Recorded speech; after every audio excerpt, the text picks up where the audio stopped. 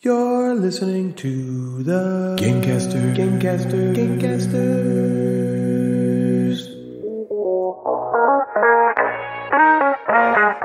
Natalie, Jeff, and Ryan are the Gamecasters, and they do a board game show, inboxes, and nooks and games, and top five lists, and sometimes there's fart jokes.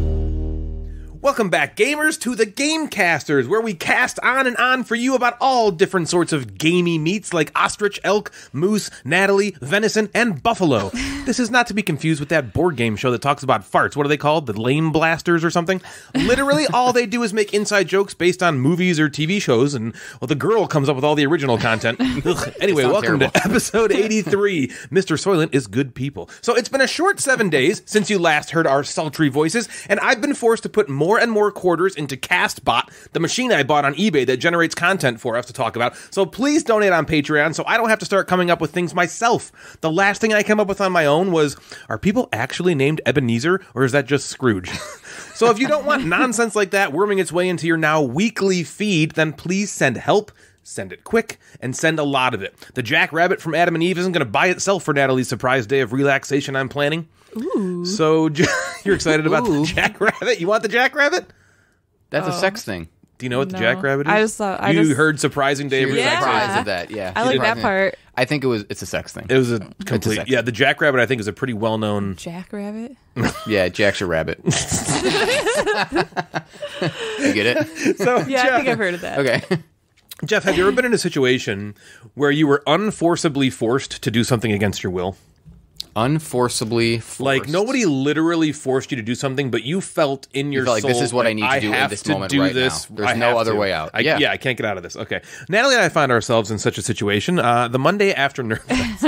So, I was like, right. where are you going with this? You'll find out. Here we go. So Jason and Janelle stayed with us. Yes. And first of all, before I say anything here, they are the most wonderful people, yeah. inside and out. I was all into their inside. Okay. Um, so meeting them in person was honestly even more awesome than I thought it would be. I love them. They are so great. I'm saying all that because before I tell you what happened, I need you all to understand the massive amounts of love we have for them as people. So that when you hear this tale of cringy embarrassment for us, you will realize that these are also people that you would want in your company and not maniacal sociopaths hell bent on watching their dear friends suffer in agony and despair. so here's what happened. Monday morning, we're all getting ready to go to the airport. Okay, Janelle and Jason Yep. are uh, are leaving that day, right? So Janelle's taking a shower, and Natalie and I are sitting on the couch, kind of relaxing before we have to leave. Jason's in the kitchen and says casually to us, "Hey guys, I'm gonna make some smoothies. Would would you guys like a blueberry spinach smoothie?" And we're like, "Sure!" Excitedly, we have healthy smoothies all like that all the time. They usually consist of things like almond milk, blueberries, strawberries, bananas, honey, sometimes a little bit of peanut butter uh, and a couple leaves of spinach. Okay, so we were ready and very excited that he was going to make us these smoothies. He's a guest in our home, and he's making Yeah. us the smoothies. So we were like pretty nice. excited. Can't wait. Well, that excitement quickly turned to panic and anguish as we watched Jason, whose back is to us from the kitchen, make the smoothies. And, and I want to illustrate his basic 11 step process. Okay. Okay. Step one add three to five blueberries to the blender. That's it. Step Just three two. to five blueberries. Okay. That might be too much. Step Okay. two, add 10 to 12 fistfuls of spinach to the blender. Step three, add tap water to the blender. Step four, blend. Step five, look in the blender and think to yourself, hmm, this could probably use a bit more spinach. Step six, stuff two more handfuls of spinach into the blender and tampen it down with the butt end of a wooden spoon. Step seven, blend again. Step 8. Look into the blender and think to yourself, hmm, this could probably use a bit more spinach. Step 9. Stuff two more handfuls of spinach into the blender, tamponing it down with the butt end of a wooden spoon. Step 10. Blend. And finally, step 11. Serve. Enjoy. Natalie and I watched in a spinach horror as, smoothie. as our fight or flight responses were now engaging. I cannot describe to you how terrifying it is to hear the crinkling of seven pounds of spinach leaves being crushed into a 64 ounce blender with the ass end of a large wooden spoon by a six foot two inch man blended and then the same noise repeated over and over again. We kept exchanging these like frightened glances and mouthing like oh no. happening? under our breath. Oh, first it was like that's a lot of spinach. And then I'm like, he He's putting more he was putting- spinach well, then in. He was putting water, and I was like, water? I've never had a smoothie with water. He's putting you guys. I was like, Natalie, he's putting more spinach in. Is that more spinach? There's more. He's looking at it and thinking there's not enough spinach in this somehow. Yep. So Jason is like the nicest, he's so nice. sweetest, Uh, we're like, happiest, go luckiest, gratefulest, kind heartiest person there is. If you ever meet are lucky enough to meet Jason Bobo, this guy is. Yeah. He's a shining He's- beacon of yeah, positive energy. He is like the kindest guy ever. And so we're Ask over here. make you a smoothie. We're over here acting like he was sharpening the blade he was about to cut our heads off with. You know, like I was trembling with fright and dread at this blended water salad that was being like dumped into a cup for my immediate consumption, wondering how the fuck I was going to do this. we're like, we have to eat this. I was getting Do the you dry have to? thinking about it. Yeah, we were kind of like, ah, well, what are we going to do? Like, this is the end, I guess. It was like his recipe for his smoothie was somewhere around eight or 9,000 leaves of spinach to one to two blueberries. Okay. Blended with tap water. Needless to say, that was not what I was expecting when he said, Hey, do you guys want a blueberry spinach smoothie? so we watch as he pours this viscous green sludge into a glass, and it doesn't like pour. And, then can, and instead, Like, like, kind of like lumps gloops, Yeah. yeah, like into the cup all at once. Yeah. And he walks over, and we haven't we've only seen his back to this point. He walks over, he turns around with the smile on his face, like he was just having the raddest day of all time and didn't have a care in the world. And Natalie and I are here literally sweating and clutching each other for comfort before the inevitable esophageal assault happens to us. He puts the cup down on the table before us and gives us this nice guttural, here you go. and then says, "Oh, oh, oh, by the way, it's not really that sweet or anything, but you know, just really good quality ingredients. We somehow managed to get out like a synchronized thanks that any 911 operator would understand to mean, oh, these people are being held against their will. We need to send help now. so Jason turns his back to go clean up the forest he just chopped down in my kitchen. And Natalie and I take one last look at each other like, I love you. I love you so much. Goodbye. I then immediately take my cup and pour it into Natalie's and make a loud ah noise. Rude. It was instinction. Natalie was so angry because now it looked like I had just drank half this thing, and she hadn't even started it. It was perfect. In fact, So we- I'm the one who drank some of it. I drank it. I was like, just. She was like, it literally just tastes like spinach water. yeah, spinach water. we watched as Jason drank his, but it looked more like one of those videos of a seagull eating a live rat. you know, it's like he's just lifting his head up in the air, and it, you see the body of the rat slide down the like gullet, and it just looked fun for nobody. I do think he enjoyed it somehow, though, and Janelle had one He too, and they drank it fine. So at this point, Janelle comes downstairs, and we were mm. like, oh. Darn, we got to get going to the airport. So we left the cups of algae on the table and went to the airport. When I came home, Natalie had put the cups in the sink, but you didn't jump in that. So I was pouring, I started pouring them down the drain, you know, and I could have sworn I heard a tiny ew come from the disposal. I thought maybe you wanted to try it after you got back. What's that? I thought maybe you wanted to try it after you That's got why you put them in the oh, sink for me? How oh, nice. so I asked Janelle, I was like, listen, I this is like the funniest thing. I was like, hey, so she's back in she's back in Utah now for a few days, and I'm Yeah. like, okay, something happened that I have to tell you about. and I was like, can I please talk about this on the show because this was for us one of the it was like the most hilarious, terrifying experience that we've had. Um, and she was like, "Yeah, I guess we smoothie differently." yeah. so what's up with you, man? Well, no smoothies in my No life. smoothies that I come into your No life? one's Made me a spinach cabbage smoothie or something ridiculous. Uh, we're watching Spinach some and new. kale. I mean, we're watching a new show. On Oh, what are you Netflix. watching? Watching Archive eighty one. Oh, Someone was just talking about that. Is that kind of like a horror I think show? Yeah, Joe it's was telling us suspense. about it. Yeah, I'm it's so it's based on a podcast, which I guess came out a few years ago, and there it was. Of I the haven't same listened to name? the podcast. I yeah, saw the- the trailer of it. Yeah, I don't know if the podcast is like acting, right? It's got to be acting because the show is supernatural, almost horror Yeah. kind of thing. Yeah. Mm-hmm. it's really suspenseful. It's not like a lot. It's not jump scares or anything like that. But Good, I hate everything is jump kind of scares. like suspenseful of what's going to happen. So like a thriller, more like yeah, you think? yeah, and it's the the the premise of it's kind of cool. It's this guy gets hired by this person to restore these videotapes. Right? There's this old videotapes. They're all like damaged. Right? They're they have damage Yeah, to them. sure. He's, he's Trauma center. yeah, so he is he is restoring these tapes and he starts to just uncover this this world that is like, you know, there is some supernatural cult weird kind of stuff happening and he's kind of watching it through these tapes as he's um, as Oh. he's restoring them. So the, the premise is very cool. Um, there's a lot to spoil that I'm not going to spoil. Um, but it's it's definitely an interesting watch. It'll make you want to kind of keep watching it. Yeah. It's It's good. It's not like oh my god, this is Are the tapes amazing. being taped by that girl? Yes. Because I saw the trailer and it's just like this girl walking around with a video camera. Yeah, so it's the girl is taping, and it kind of goes back and forth between like her recording and what's going on in her life and the tapes, and then him watching the tapes for the first time. What's it called? Something 81? Yeah, Archive Archive. 81. Archive 81. Okay. It's pretty good. It's it's only eight episodes, so that's kind of good. It's eight episodes, and you can watch it. And um, I'm not sure of the future of the show, but it's I think it's kind of worth watching. It's Interesting. It's different. Yeah. Nobody I've ever heard of is in this show. No, I've Dina never- Shihabi, and there's a guy named Mamadou. Oh, Mamadou, Mamadou Mamadou. Athie. Mamadou and Daddy Do. Marmaduke? Daddy Do's in that. He's in the Mamadou second season, Daddy maybe. Mama Daddy Do. Daddy Do. really Mama Do. Grandma Do. Gra- Do. Grandpa Do. Mimi Do. Uh, Daddy Do. Mama Daddy Do, Mommy Poor Do. Mama Do. Mamadou listens- and Daddy Do. Is, It's, is that a, a, is it's that a man. It's a man. It's a man. It's Mamadou. He should be Daddy Do. he should be the Daddy Do.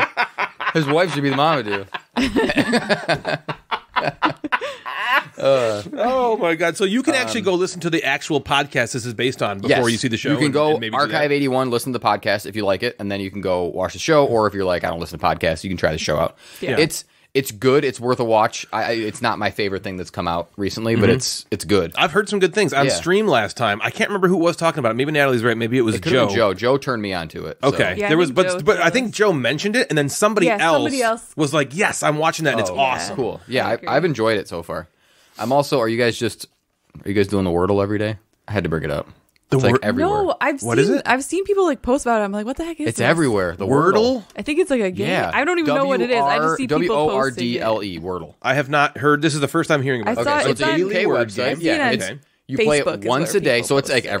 first time hearing about I it. saw Okay, so it's it's a on- UK Word website. game. Yeah, Yeah, it's okay. you play Facebook it is once where a day, people so it's post like it. everywhere. I, I it's everywhere on social media, like Facebook. It's everywhere, but Okay. a lot of people are playing it. So guess You the get- Wordle in six tries. Each guess must be a valid five-letter word. Hit the enter button to submit. After each guess, the color of the tiles will change to show how close your guess was. It's just like a mastermind. word word. game. It's mastermind, but with words. Oh, so that's it's cool. so you get if the green if your letter shows up green, it's in the right spot and it's the right letter. If it shows up yellow, it's in the wrong spot but the right letter. Right. I see. so it's mastermind. But Yeah. with- but eh, but you, you Gray, get- it's not in there at all. yeah. So you just get six guesses to try to or f- yeah six guesses to figure out this five letter word, and then you just get it once a day. How does shit like this get so popular? I have no idea, but it's everywhere. It's like I have seen people, and I was like, what yeah, the- it's I that don't know what goofy this thing is. that people are posting where there's like a white square, a yellow square, a green square, and yes, two white squares. yes, I've That's seen it. that. It's Wordle. That's Wordle. Oh, I see. Um, Okay, I've There is seen that also, on- yeah, on Instagram. which might be better for our Gamecasters listeners, something called Lewdle from the same creators. L E W D, like oh, the word lewd. lewd. Oh, yes. L-E, Here we go. where A daily lewd word are game. Dicks, titty, lewd. queef. Yep.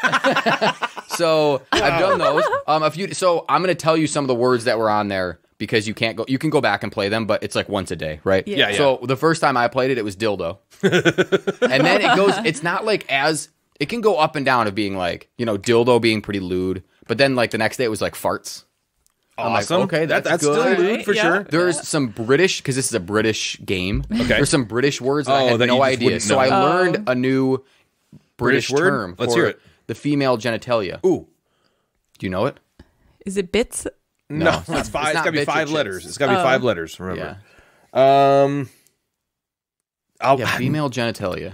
I can't. I can't think. Of it. I've about it. never heard of this word before. Okay. What does But maybe? Jim can help us out. Crumb. It starts with an M. An M. Hmm.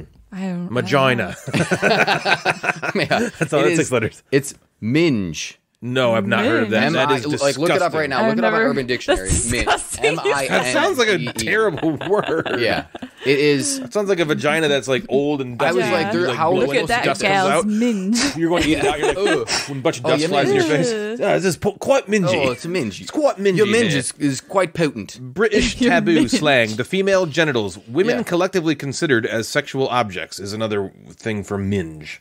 What? Oh, why is it called a minge? Yeah. Here we go. Minge, noun. Female pen. Female pudin. Pe- what? what is this word? Pudin. Pudendum. Female pudendum. 1903 of unknown oh, origin. Oh, okay. Watkins suggests it's from Romany Gypsy Mine's vagina, which is probably from Armenian Medj middle from pie root. Pie I don't root? understand The root of of a pie? Either. Medio middle minge. So the female hoo ha is like a pie. It's from And the minge. Romanian gypsy pie. It's a gypsy Oh pie. man, a gypsy pie. the pie root. That seems like a terms of endearment. The Hey old there, gypsy root. pie. Hey, gypsy pie. Want to get in my minge pie? Gross. That's like the Yeah, grossest minge. word to describe it. So you might get some. Oh, eat my different. minge. One of the wordles actually uh, a, a week ago maybe was the word prick, which I know here we don't necessarily use. Like, yeah, we say prick your finger, right? Right. No, But prick is a dick. Yeah, yeah, Right. prick is a cock. But I want to put me the prick in your English use minge. prick a lot more, I think, maybe for the word prick Oh, when suck you. my prick. oh, lick my minge. Weird.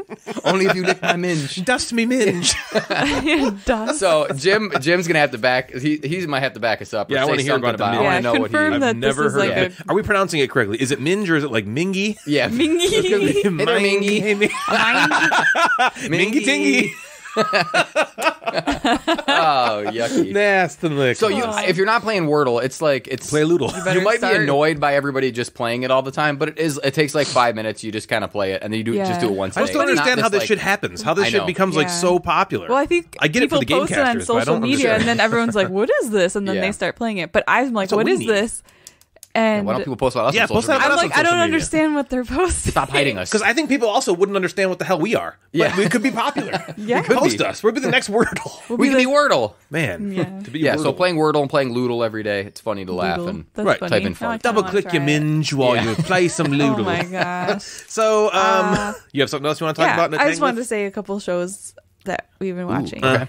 I want to know. So the new, the fourth season of The Marvelous Mrs. Maisel is coming Oh God, out she's so February hot. 18th. So She's so we hot. started watching that from the beginning because it's been You mean so her friend that freaking played Miss. Swan in Mad TV? Right? yeah, yeah, yeah. Yeah. Yeah, Oh, mm. yeah. They, it's so funny. There's a running joke. Have you have you watched Mar- Marvelous Mrs. Uh, Maisel? season one for sure. There's a running joke where they continuously call her a boy. Oh, okay. So there's one there's this one scene and it doesn't give anything away where they're in court and Mrs. Maisel got arrested for just some like stupid misdemeanor and she's like at, at court in front of the judge and um Miss Swan is Swan. what's her name? Um Um, Susie Myers. no.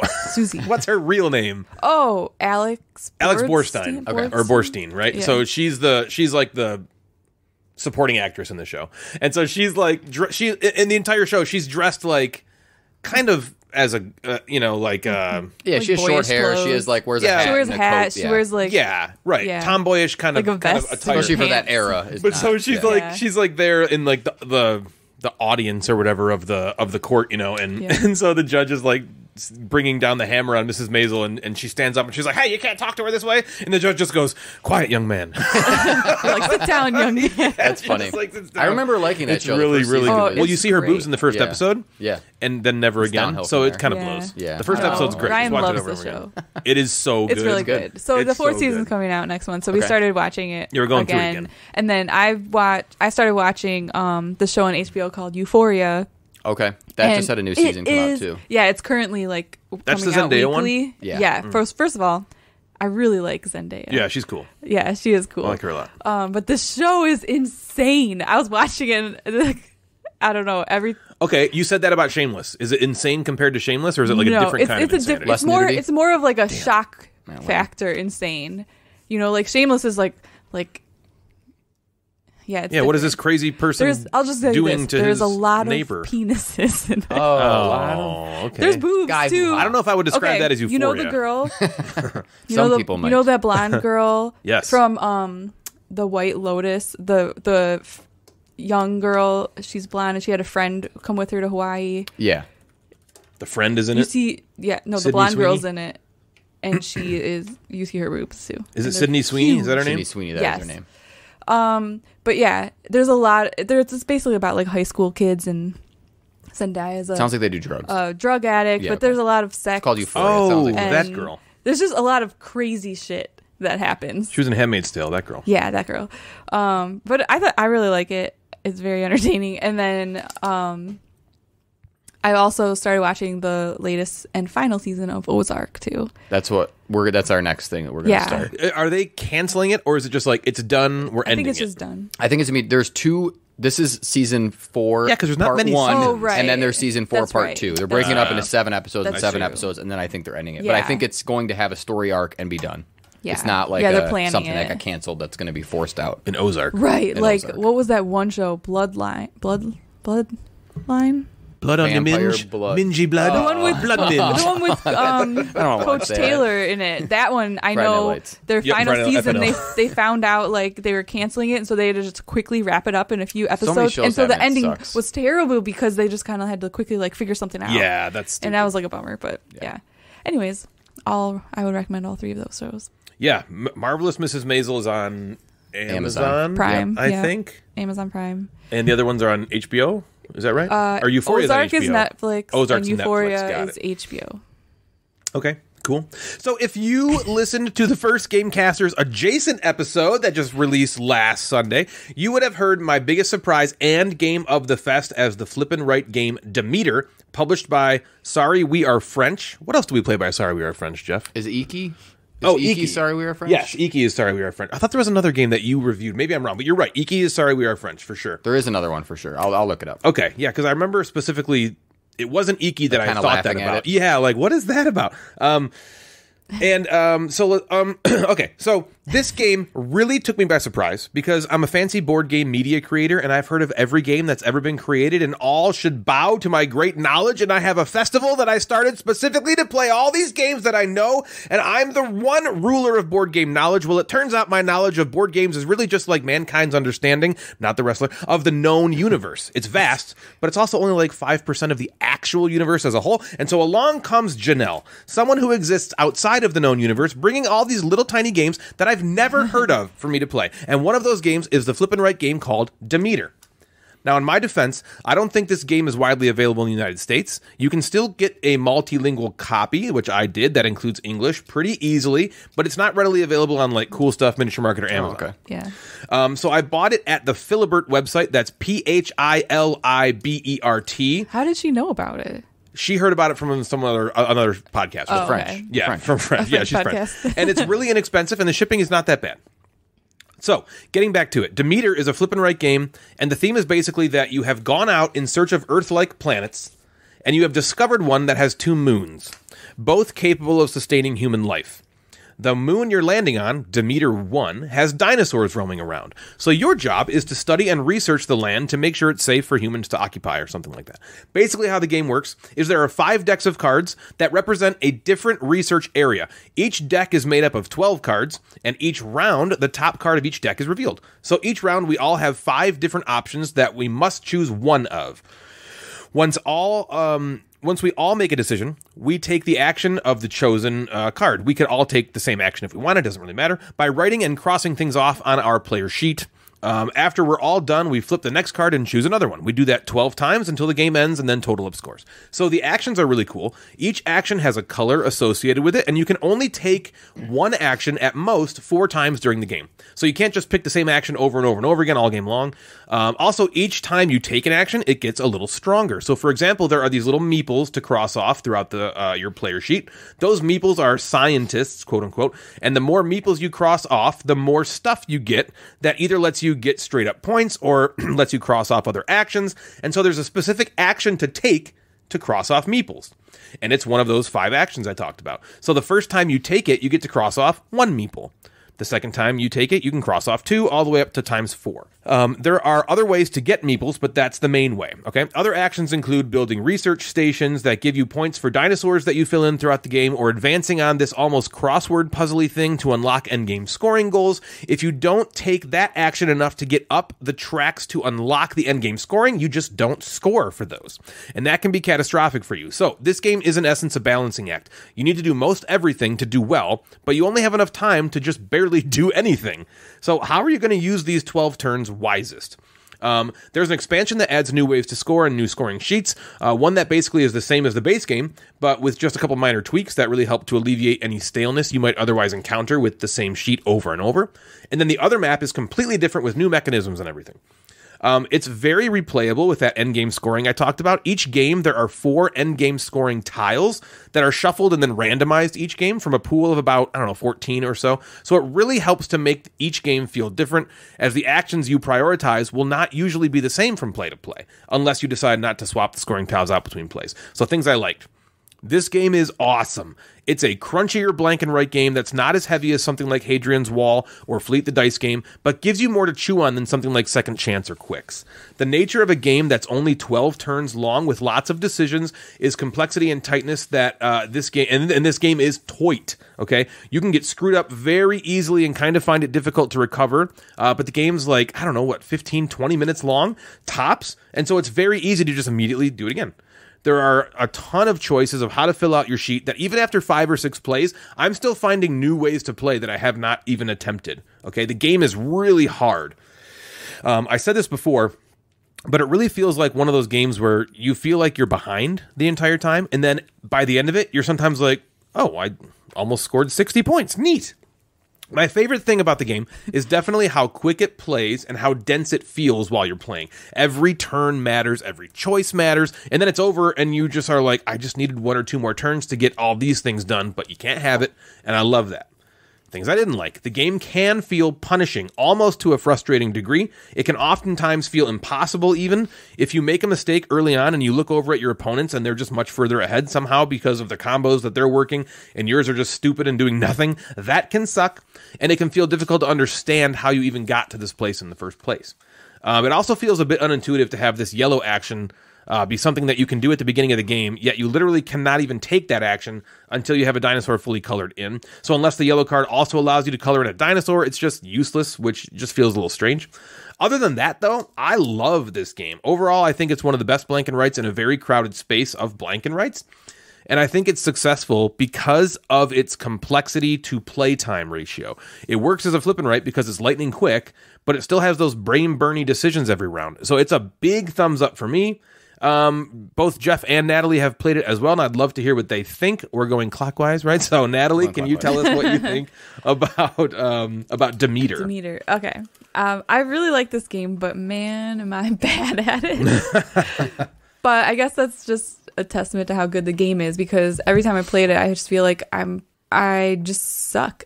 My scores are low. I don't, you know, but like Ryan said, it's so it's so tight. The decisions are so tough because you only have like 12 turns and doing something dumb can like totally screw everything up. Um but I still find it really fun. It's really short, so that helps, you know, in that department.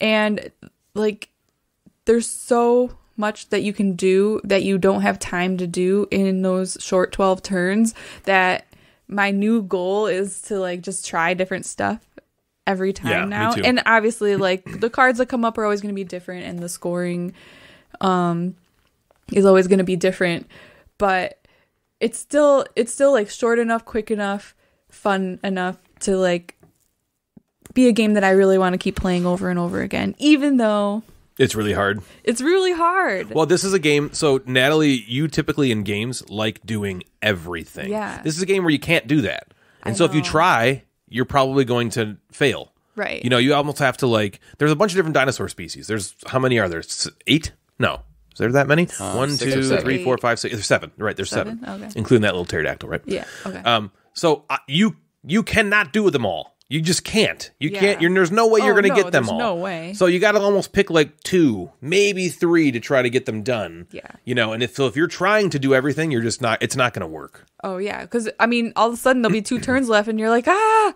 Same with the scoring have- goals. There's four scoring goals. A, B, C, D. You're only going to probably get two of them. Mm-hmm. If you do really amazing, you can maybe get three of them, and I don't know how you could potentially Yeah. get four. Getting four would be just crazy. or like I got three this last game, but I got three of them on the lowest number. oh, did you? yeah, know? I got. I only got two of them. I only had two also. Yeah. But yeah, I I I really enjoy this game, and I'm excited to try the expansions and see. You know Me how those make it a little different because all we played is like the, The the base, intro game. intro game, but I know there's a couple more expansions. Um, so yeah, Yeah, one increases the the game length from twelve to fifteen rounds, and then Oh, okay. adds adds a fifth yeah. action you So can I'm do. Like you can now do each action five it. times. But I mean, one of my favorite parts about it is that it is quick. Me too. And so, you know, even if I'm like, oh, like we played it the other day and we played it and I was like, oh man, I I forgot this scoring part of it. And we're like, let's just play it again. And we're like, okay, and we did, and it it was Yeah. it was a good time. and we're it's like barely been a half hour, forty minutes, and we played it twice. Yeah, you know, and it feels every for me every play has felt like shit. Oh, I'm, Yeah, I'm no, but this it is is- wrong. I'm doing not like- badly, and then it's it kind of works out. It's like simple, but it's not easy, and the decisions are very hard. But it's Mm. it's a challenge for sure, but it's fun. What do you think, Jeff? Overall, I liked it. I again don't I don't like Gravitate towards these. love roll and rights, right? Because I feel like I've played a million and they feel the same, um, to an extent, right? There are the outliers in both directions of like, you know, Qwixx being almost nothing, right? To Yep. Then Yeah. Hadrian's Wall being almost everything. almost everything, right? being being like almost borderline like.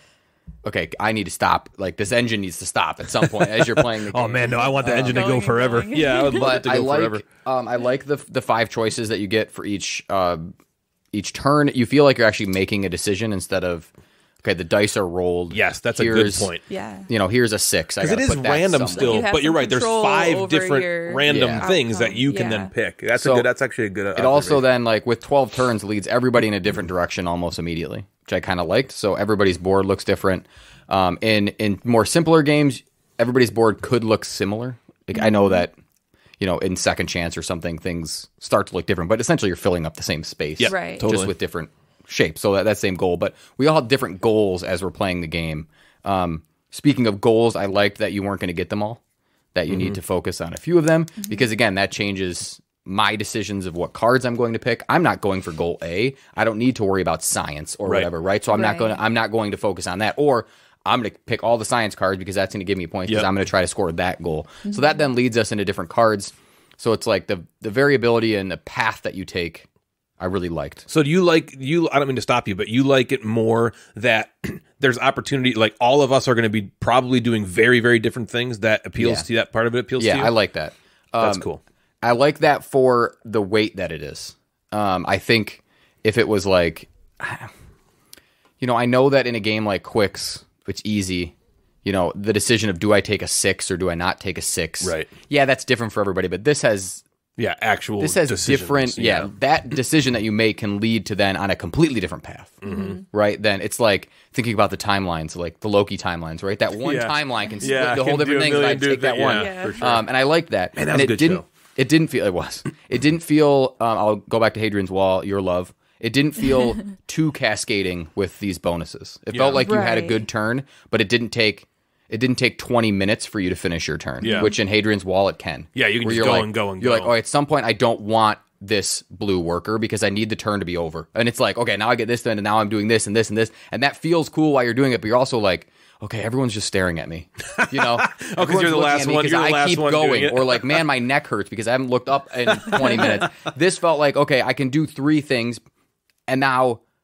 That's nice. Like, okay, now you know I, I got Yeah. a little It engine. was going. I like, Yeah. yeah. So Right. in 20 okay, minutes. So it was satisfying enough for you. So it's what I'm hearing from you is Hadrian's Wall went almost too far It- for you. It touched the line. Like I don't know if it went too far. Any more It than was that, at the very top. any more than that, I would be like, I I don't want to keep doing this conversion Right. resource over and over and over again because then, you know, at least in Hadrian's Wall, there were sections of the board that you didn't finish.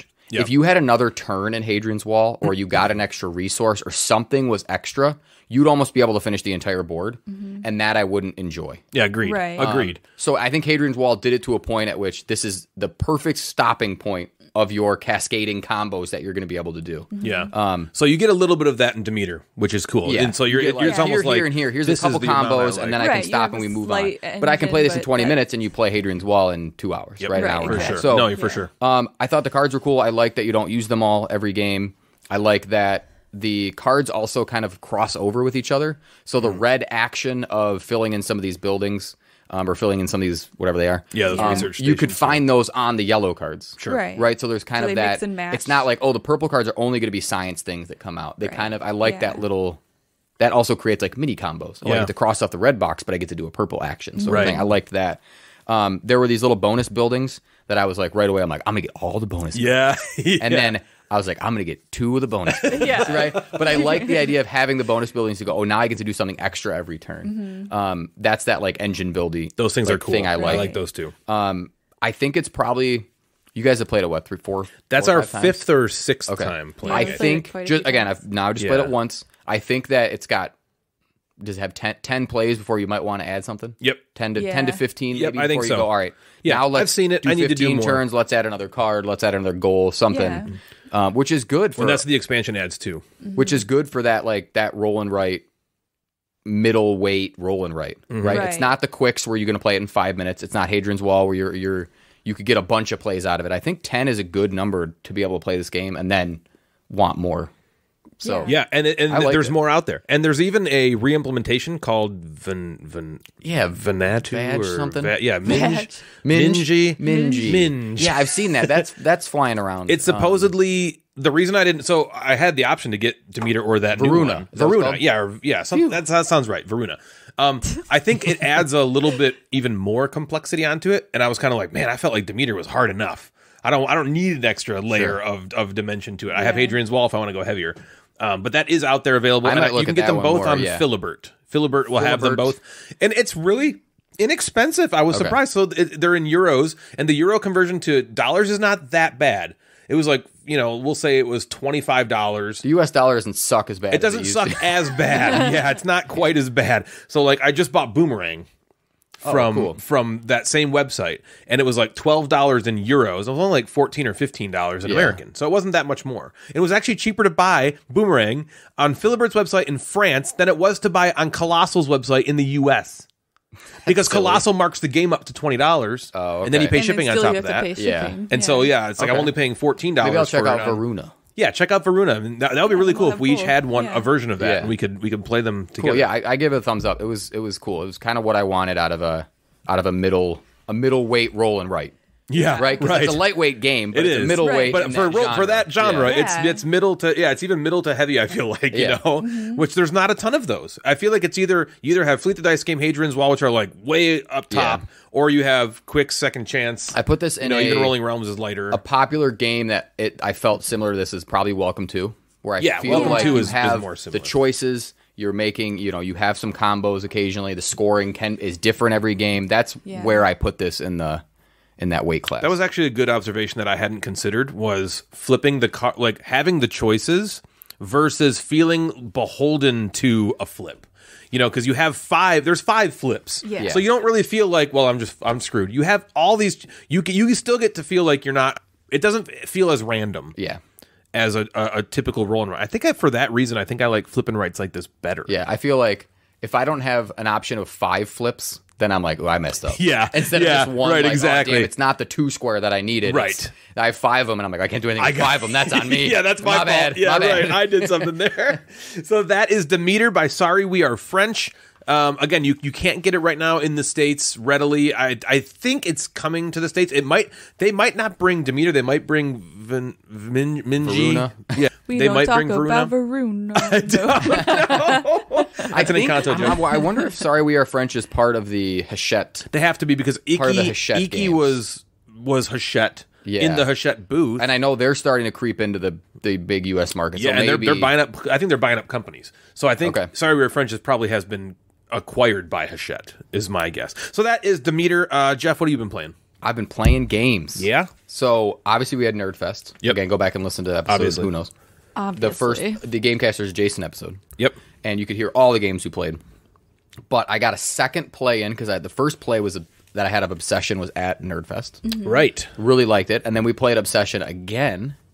I played it with Devin, so we played a Awesome. two-player Obsession. Okay. and I'll I'm going to tell you the Yeah, result. because you've played it and then I four player and two player now. Yeah, we've so only played it. two. I played it four players. Oh, you played Yeah. it four players. played Oh, I've only Jeff, played it two yeah. player. I I really liked it. I liked it with two. It went.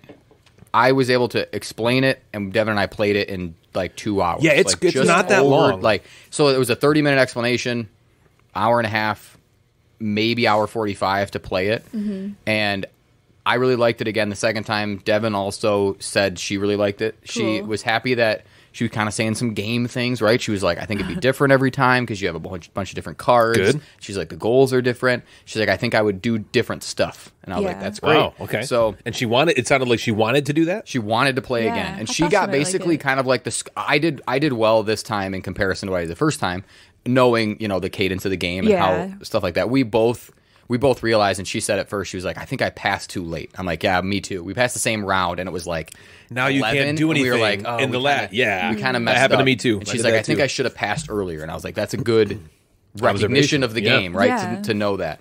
So we. I both really enjoyed, and this was the first time also in this game where I, I utilized some of those those expansion workers for what they were. Yeah. and she did the same thing I did in the first game, where she was like, Did you "I not don't play with those that." in your first We game? did. I Oh, just okay. didn't touch them I gotcha. because Yeah, yeah. I didn't understand Overwhelmed. any Yeah, of that. for shit. I was sure. like, so it can stand in for the who, whats, and again, Mm-hmm. the language in this game is trying to be thematic and doesn't like. I just wanted to say this worker can be a red one. Hundred percent. Right. Not I can I be agree with that. Hundred percent. household Right. maid, and I'm like, well, is that? And then I got to flip over Right, six you're, aid yeah, cards then to you're try like, to figure okay, out what's so what. then which one's that? Okay, So- so, I the do blue can be understand the some red. people yeah. love getting Yes. themselves ensconced in Yeah. that theme. Yeah. I think the three of us, I don't know if we're outliers. We might not be. We are definitely a different group where we're just like, I just want to play the game and be excited about Yeah. the game. The mm-hmm. theme is not super. Right. It's cool that they're servants, but I'm cool if you're calling it red servant, blue Yeah, servant. right. Yeah, you yeah, know? yeah. red worker. Yeah. Yeah. So Yeah. 100%. there. So that I kind of left out of when I played the first time, and I was like, I'm just going to do kind of the base stuff. And then Devin did exactly what I did, almost had the exact same score as I did the first game. I tried to utilize some of those other ones where you can like place it on a card to get an extra hundred bucks, Yes. or Yeah. to draw an extra card to screen those guests or whatever. Use the cook. Devin did use the cook, so that was the one um, extra worker. Yeah. Uh, but I'll tell you right now that I was texting you guys in a rant. yeah, he was. I also he was the mad Amanda- board game. I also talked to Amanda about it. She had it for me too. I want to. I want to start by by saying I get it. I get that this company is one man. I understand that it's that it's one guy with the help, probably free help of his friends or his family to do this, but someone needs to come out with an official rule book for everything in that game. yeah, like once and for Yeah. all. One rule book that says, okay, to rule this them is all. it. A rule book to rule them all. Yeah. Because when I go through and I read, you know, edition two of the rule book, and then I go and I pick up an expansion That and I read the that core one yeah. that talks about edition one, but changes the core rules of edition one. But did Yeah. edition two already change that core rule? Maybe. And then here's six more player aid cards that you can use. Those are the worst. So am I using this flow chart when I'm passing? Because the upstairs downstairs flow chart lets you buy a worker. Mm-hmm. But That's the what- second what edition, used. That's we but the played. We did second edition way. tells you not to. Yep. But the second edition is newer than the upstairs downstairs. But the upstairs downstairs doesn't say to replace that one. right. Yeah.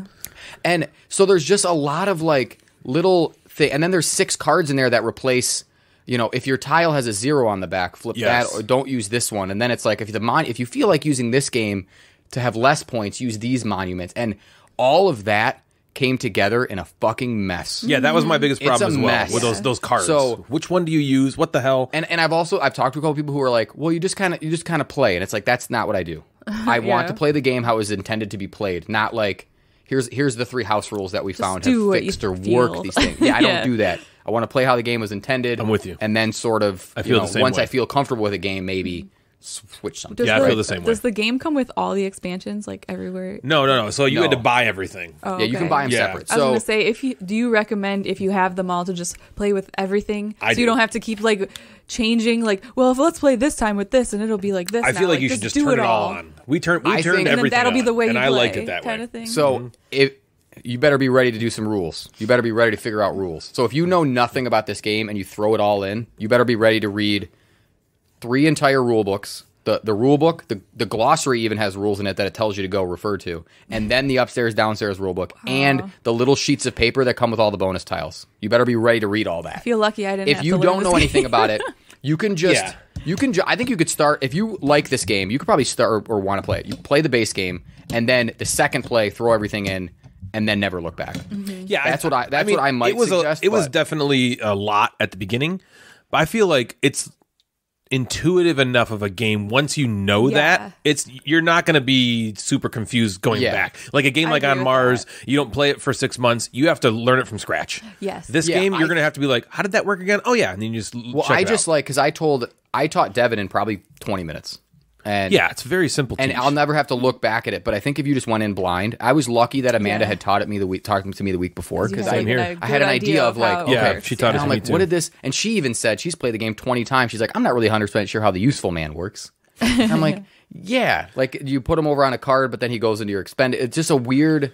Sort of thing to try to find. And then if there, you have a question about a tile, good luck trying to fucking. Figure It's definitely different because of the fact that it's not like some mass market big Yes. company game, and so you Yeah, you have it's to know that that going into Obsession that okay, like Jeff said a minute ago, this is like this one guy's labor of love. He does the artwork, he does the rule book, he does the he's the designer, he does it all. He produced the damn thing himself. Right. It's an amazing And it's really game. good. It's a it's an amazing Oh, it's piece game. of It's work. It's just rough around the edges. Yeah, and I think that you know, I, Board Game Geek has some nice, you know, there. I just saw one that I'm going to print. It has all the people, what they do, who they can replace, and like in nice columns that I can print like that an out, and I can throw away six extra cards, right? So I don't have to use that. I wish I Uh. wish there was something if that replaces the flowchart cards and all the cards. That's what I want. I want one player aid. I don't don't want have to be five cards in front of Yeah, me that you got to flip over Yeah. and like what is the yeah, I would rather have a gigantic player aid like um like in Tawantinsuyu. like the Tawantinsuyu or what was the other? What was the one yeah, we played? just played Bitoku. Bitoku. Oh, Those yeah. two player aids are amazing. Give me I don't that. want cards I have to flip. I would back and rather forth. flip a Yep. page than look. Well, because it wasn't even just flipping the cards back and forth. I was honestly not sure, and it turned out we were wrong. I wasn't sure that we were using the right ones. But are you sure you're wrong? No, Confident that you're wrong? I don't think. I don't. I'm not 100 I'm sure not you're wrong. sure. I'll- I only think I'm wrong because Amanda was like, "No, no, no. The the way you're supposed to play takes out that servant." But that's so, thing. like Amanda probably knows because I know she's talked with Dan, the designer. But that's not made clear anywhere. What I agree. flowchart I totally right. agreed Oh, with yeah. you. I assumed we we were did it playing it the right way. Yeah. That being said, I'm also redoing my pub meeple. Oh right. Right now, yes, you're This in the middle game of has a very good chance of of being very Yeah, very isn't high. it good? Um, Luckily, I'm happy. Like, one that, so, are you saying that- you liked it better? I don't mean to interrupt you, Natalie. Are you saying you liked it better with two, or on your second play? I li- I think I liked it better on my second play. Understanding the workers and being able to sort of make kind of better combos and better card decisions. Yeah. Uh, my second play, so I liked that. I also liked how quick it played with Devin and I. Okay. That we can play this on a normal night. It's not an on Mars or an Underwater Cities where it's got to be the, you know, we're going to stay up a little longer. Yeah. We can play this game in an hour and a half For sure. And that's Yeah. that's what I really like, and also and then get an experience out of it. I know Dan, uh, Dan and Kim were saying, and Dan was telling me they, they like read all the cards in like these. These Oh, I did too. accents and these I did too. Things. It I was think- so fun to do. yeah, you can embrace Yeah. it. I when we sat down, I was like, Devin, do you want to watch like Downton Abbey or something? And she's like, No. So we Nah. watched Thirty Rock, but you could, you could do something like that, right? You could you could spice this game Every up time, or, yeah. like, The drink a Dowager mint julep or something. yeah. right? You could do something, and I think that that could enhance the game even more if you if you liked that dress Yeah. up. Married off to I Big think Penis that James. I would watch if Ben and M. I think Ben and M need to buy this game. I don't know if they have it. They need to buy it and they need to do like a dress up thing with it. 'Cause I think 100%. They, they would be perfect. yeah, for that, this would be this was right up there her alley in Yeah. that way. And, for and sure. the game is good. I think they would like it. Yeah, it is so, good. I'm glad that this one lived up to the hype because we hyped it up a lot. You did. This one and Bitoku have a good shot of of changing around a top ten here. In, in my Is this the one that we talked about it? You wanted it, Devin bought it for you? Yeah, Yeah. Devin That's bought what it for happened, me right? After the show, she listened to it and she said, "Oh, I think I might like something like this," and then bought it for me for my birthday. Yes. Yeah, that's a good Yes. feeling for me because I'm a selfish motherfucker who just wants you to like what I like. Wait, you're saying Devin listens to the show? Yeah, she does listen. Hi, At Devin. gunpoint. She's always like, "Ryan's so funny." Does she still say it? Yeah. She's probably Oh, like, "Why do you say Devin. Natalie's funny when really Ryan?" And just like, well, I want the minge, so I gotta have her Yeah, the minge. say that. Yes, he is. Yeah. yes, Ryan's funny. Let me at that minge. Um, another thing, so I'm just gonna keep talking about random games we've been playing, but uh, Devin and I finished the initiative finally. Oh, yeah, you So- said that. That's right. 14 plays, we finished. and So it was fine. I'm glad, I'm glad we finished it. Okay. It- good there review. wasn't.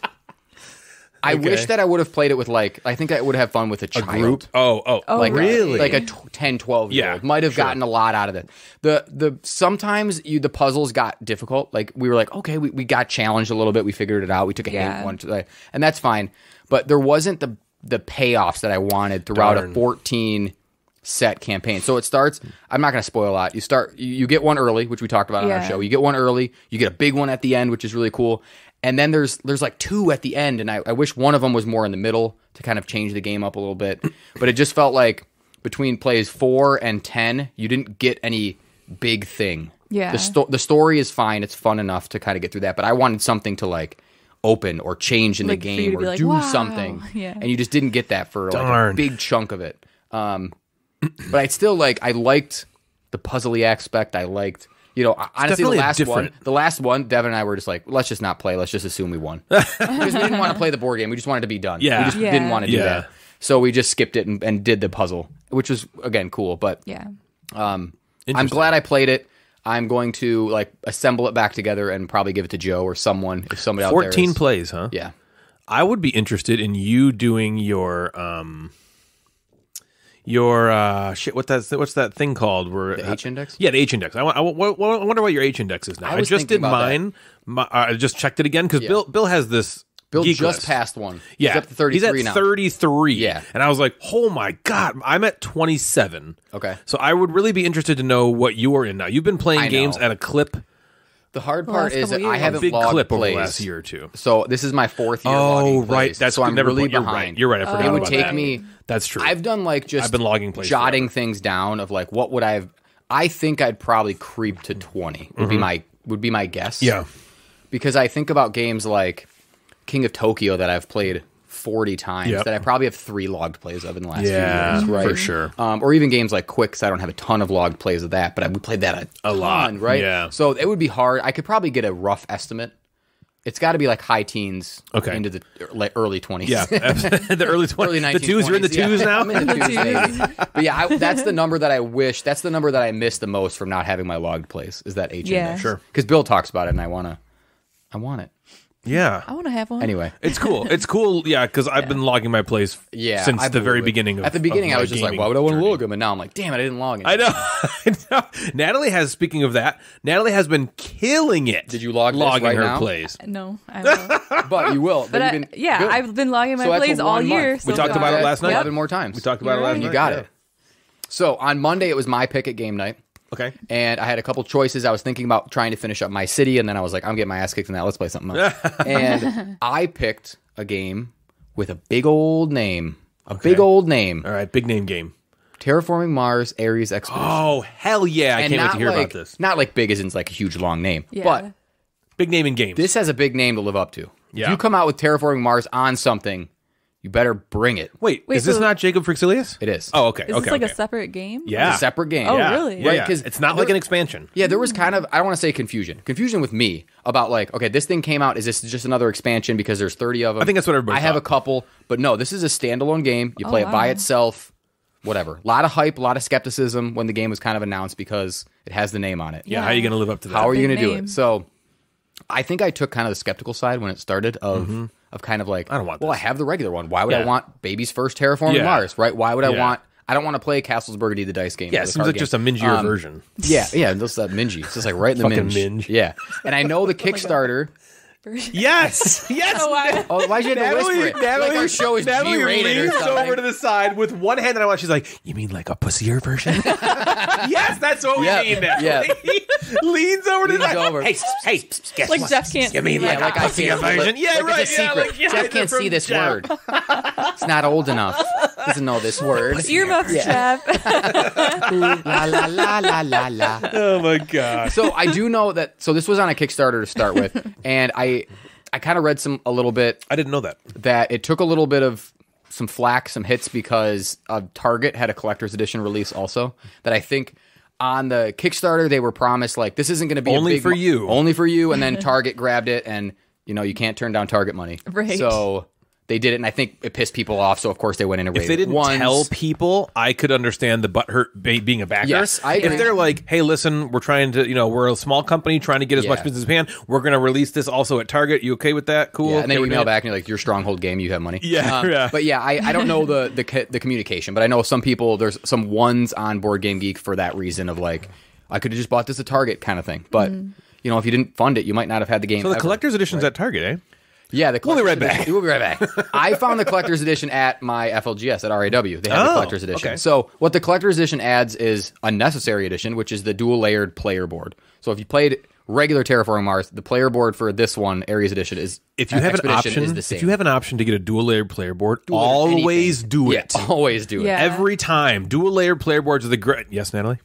I'm has her hand in the I'm a little bit lost. So the, the collector's edition is the regular Terraforming Mars, or is that still related? No, to no, this is- Ares Yeah, so this is thing? Terraforming Mars Ares Expedition Collector's oh, Edition. Oh, okay. Yeah, it's not Terraforming Mars base game in any way. Okay. Yeah. Yeah, so it's totally. So totally you're like, talking separate. about Ares Expedition, this of specifically. Ares Expedition and a collector's edition of that. Yes, Yes. exactly. Yes. And that one comes with the dual layer boards, maybe some like a card. And that's the one You should only always ever get the dual layered boards. Yeah. Have, you, have you said that before? Yes. Yeah, You said always. that. Can you imagine Project L without the dual layered It would just tiles. like, Wouldn't it just not oh, be fun? things would? Just move It would just around. not yeah, it feel would just like- like it just wouldn't feel. It wouldn't be as good of a game. Yeah, Yeah. See? Yeah, And it's exactly. all it is. You're just, The whole game Yeah, the game, the is game is bad. worse The game now. is bad, and you should feel bad. so I it started to pique my attention recently because I kept seeing positive things about it. Stuff on Instagram, positive reviews. I'm like, okay, I got it for Christmas. I picked it out as my Christmas gift that Joe bought for me or something. Yeah, right. You all went to Shade the store and bought each other a gift. Let me tell you a little bit about how it works um, in comparison to Terraforming Mars, and then we'll talk about how it separates. So Okay. each player gets a starting board, which is now dual layered and sweet. Hell yeah. Um, you, should- instead of if you can buy dual stupid-ass- layer player boards, you should do it. It makes the game way better. Oh, Always. So the dual Gamecaster layer board, you Sorry. get yeah, you get a corporation card, which is the same as Okay. the that, that's, Terraforming that's like your who you are, right? It says Like your power, You're yeah. the you're the James Corporation, and you get fifty bucks, and you get a card or whatever, right? Cool. Yeah. So you get the starting stuff, and then you get some project cards. The project cards are the same cards that you're playing over and over again in Terraforming Mars. Um, in Ares Expedition, this is where it's kind of new. You get a you get five different cards that match the possible phases in each round. So you have a set of cards. So Ryan would be green because the nor- colors are normal, and you'd have to be green. Yep. Natalie would get red the it or works. blue. You got it. And um, I would get yellow. You would have a set of those five different phases in your color. So you kind of have two hands that you, you are working with. You're working with the phase cards and you're working with the project cards. Okay. So the round begins by you secretly selecting one of the phases that you would like everyone to do that round. Think Oh. of race for the, Race for the galaxy, roll for the galaxy, the Puerto Rico, all th- that kind of. I I'm play, you follow. This. Yep, Yeah. I'm going to pick this. Everyone's going to be able to do it. Whatever you pick, you get a little bonus. So if I pick phase one, I get a bonus in phase one because I picked it. does that hurt me if I also pick phase one? Nope, you Okay. also get a bonus too. Okay. But then if you pick p- phase two and Natalie picks phase four, we would we would do phase one, two, and four. So not every phase is going to happen every, round. Oh. You could actually just do one phase. If we all pick two, Yeah, we just do two. all we We'd do. all get the bonus, and we would just uh, t- do the second phase. and nobody follows. We just all get the good the good action if we all play the same card. Yeah, yeah. It's basically so the, the the different phases let you like build the project card. So that's how you're building the project card. So phase one lets you build green ones. Phase two lets you build red or blue ones. Okay, okay. So if no one picks phase one, you can't play a green card from your hand that round. Okay. So what the bonus would be is now you could play a green card for three less. That's the money that you're spending. So that's the bonus, right? Okay. The red or blue one, you could play two cards instead of one. So those are kind of the bonuses that you get.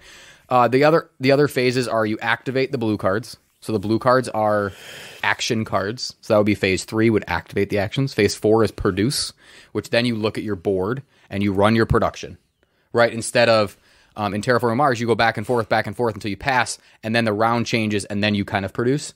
This will happen during that phase. So if you don't pick produce, you're not getting any new stuff. Got it. Um, the only thing about production that changes is your, if you remember the the the brown, which is like, I don't know what it is, coal. I don't know. Yep, Some sure. Metal. I think it's metal and like titanium. Those two things don't actually produce anything. They just give you a discount on your cards. Oh, okay. So you're not keeping track of that production, but you're keeping track of money and heat and plants, just Right, like in just like in Mars. Terraforming Mars, So you produce those, and the the player boards are nice and separate. You have like what you produce on the left and how much you actually have on the right, and you separate those. So that's really great. Um, the project cards that you're putting out are very similar to the original, and that's the engine that you're building, right? Um, again, with green cards kind of helping productions, blue one usually give you some cool action, and then the red ones has like this one super action usually, like the lightning bolt action that lets you Yep. like you know flip tiles or take more cards or something like big in the moment, and play just keeps going like that. So I pick we pick phases and we do all the phases and then we do it again, right? And then you look at your hand, you pick a new phase. You just can't pick the same phase back to back. You pick a new phase, you put it out, and then we just keep going and going and going until the same three parameters are met, just like in Terraforming Mars. The water tiles are all flipped over, so instead of adding them to the board, you just flip them over. Um, and then the oxygen and the temperature are moved all the way up to the top. As soon as that happens, the game ends, and you count up points. Points are found, you know, throughout the game as you move up that TM, your your terraforming rating or TR track. So right? it is very similar. It's very similar. just the mechanisms that you're utilizing are different. Yeah, it uh, it's yeah. I'll, I'll, I'll tell Yeah, you. yeah, sure. So, um, I think that this exceeded my expectations. So I went in going. I didn't know which way this game was going to go. Was it going to be baby's first terraforming Mars, and I'm never going to want to play it, or is it going to be too much like the original game, where I'm never going to want to play it? Right? Like, where is that going to be on the scale? And I really think that it found itself right in the middle. Like you might just play it again. I I might be reaching for this more often because Quick.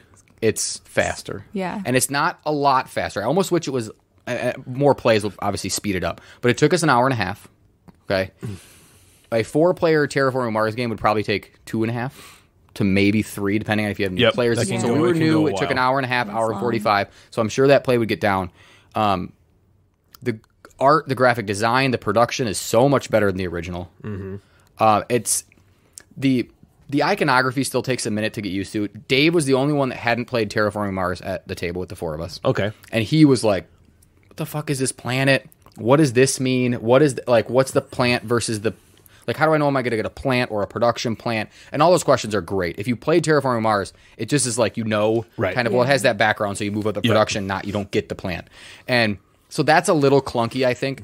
But he even said after he played, it, he's like, I, I liked it. Like he did well, and he's like, I really liked it. Oh, so cool. that's an upgrade. I think the card art is just better. The card stock is better than the original.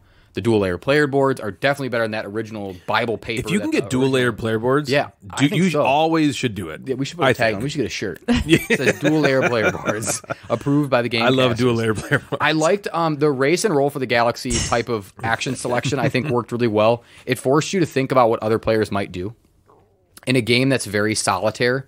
Because that's one of my downsides. This game is very alone. You're in your own You're just playing because everything hap- happens simultaneously. If I play the phase one, and Sounds we're all great to me. we're I like- all that's a doing plus for yeah, me. we're all doing phase one together, right? And it's, it's not necessarily a bad thing, but it is. Yeah. You are doing this. You need to be yourself. aware of that. Yeah. So if I play phase one, we're all going to do phase one together. There is no like, all right, Natalie ta- goes and takes phase one, and then I take phase one. Simultaneously happens? We're simultaneously That's playing great. each I phase. love that. So I might a- just play a card and kind of wait, or I, I could even if I just play a card and then I move on to produce. My produce action isn't messing with anybody else. So you I'll can just kind keep of doing do that. it and then Yeah, I'll wait. just kinda do your so thing. That's kind of cool. Yeah, it's I much like quicker. that a lot. So the action selection makes you at least think about somebody else. So if I look at Natalie's board and she doesn't have anything, maybe I want to. Oh, maybe Natalie will produce this round. So if she's going to produce, maybe I'll pick something else because I really want to get a card out and I want to produce. Mm. So do I pick the one phase so then Natalie picks produce and then we all produce, or Mm. do I pick produce because I get a bonus? So we had some some times where even just with four of us, we were doing two phases. Or it was like I picked one, Joe's like I picked one, Bill's like I picked one, Dave's like pick two. And it's like that was it. And then at some point, I didn't have the money to do because they go in order, so you don't produce Until- you produce last, so you might not have the no one money to did do that, something, right. or I didn't think someone was going to pick one, and now I don't have a green card that I can afford. So I kind of like that that sort of balance. Everybody kind of had a moment where you're like, well, I can't do a phase. Seems a little stressful in a good way. Yeah. That kind of tenseness, like, God, I can do this. It's going to be great. But Yeah. Jeff or Natalie it's like- has to do that Yeah, action, please so I it. can do it. Yeah. Um, the in, in terms of like things that are, are maybe on the downside, it's not for me downside, but a downside possibly. The randomness in cards. You're just drawing cards. Yep. Um, it's a big 200 and plus cards stack of things, and you just draw cards. I did listen to the snob, so Gabi, I know you're listening. I think this is a an interesting way that they play it. They've they've played this game and they liked it better than Terraforming Mars. They separated the decks into green, red, and blue. So when you're drawing a card, you can choose. I want a green card. I want a red Oh, card. Okay. This is a house rule? this is what, yeah. I don't know if it's some variant somewhere, but whatever. So they want a little more decision in how I'm going to pick a card. Like, this is, I don't need any more green cards. I need those big action red cards are at the end of the game. Let me pick that. Like, I don't want to waste my draw card action and pick up something that gives me I a literally one don't leaf, need- right that I don't need. That, that feels So bad. That's inter- that's an interesting version. I I- who knows if I'll try it, but I I like the idea that that might. I wonder if that's in like the their variant experience. section in Board Game Geek. Yeah.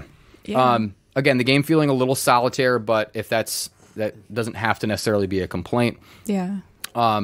Like Natalie said, the simultaneous play makes it so much faster, which is good, Yep. but also doesn't give you uh, how I don't know how much you remember Terraforming Mars, but on your turn in Terraforming Mars, you can do one or two actions. Yeah. It does rem- the simultaneous play removes a little bit of a a cool surprise turn to someone else.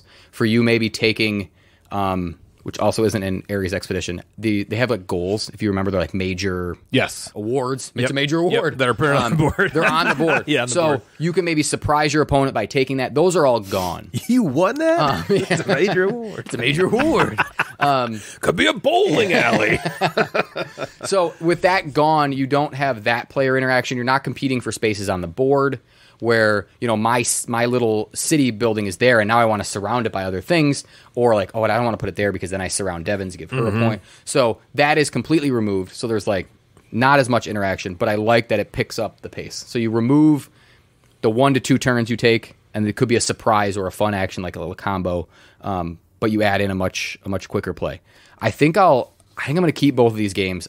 I think that by the time I get sick of both of these games, I think I might have more plays of Ares Expedition than of the regular Okay. because with an hour and a half, Devin and I can play this game on again a regular night and get the feeling of Terraforming Mars. And it, it will go quicker than that with just you and Devin, yeah? Maybe the hard part is is they don't adjust Since it's any- simultaneous, Simultaneous. I guess. th- they don't adjust any of the end game markers for two players or four.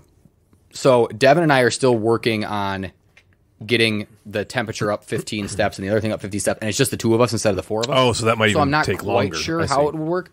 Um, and we're also at, with four people. There was a possibility of us having four phases get flipped over. With Devin and I were just two. So, but the rounds will be faster. So I'm not sure, but I, I'll definitely give it a try. But overall, this gave this gave me the Terraforming Mars feeling that I wanted.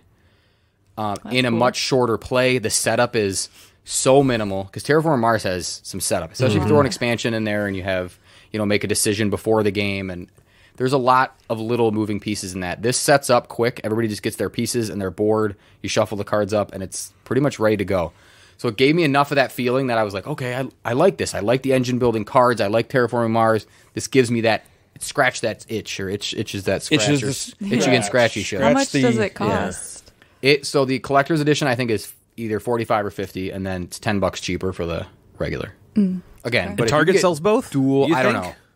If you can get dual layer player boards though, I, okay, so I would say It's if worth you can get dual layer player boards, always, do always that get them. every time. No matter the cost. so that is uh, Terraforming Mars Ares Expedition. Yeah. I am very excited to play that game.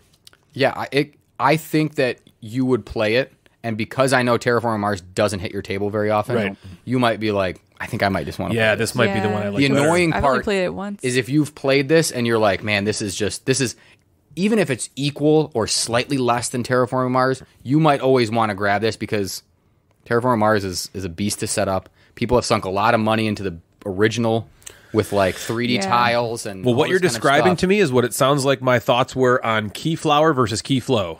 Yeah. Yeah. Keyflow is like Keyflower is one of the greats. Yeah. Mm-hmm. Mhm. Terraforming Mars is one of the greats.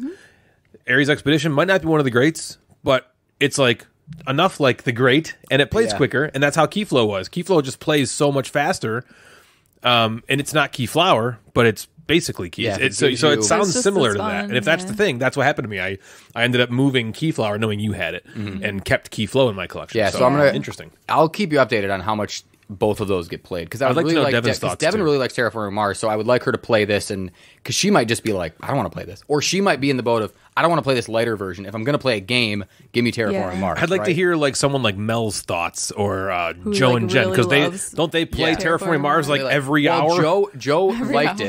it. It- Joe gave me an interesting point. He liked it a lot. He was like, it gave me a lot of Terraforming Mars. He's like, the one thing is, I wish it was.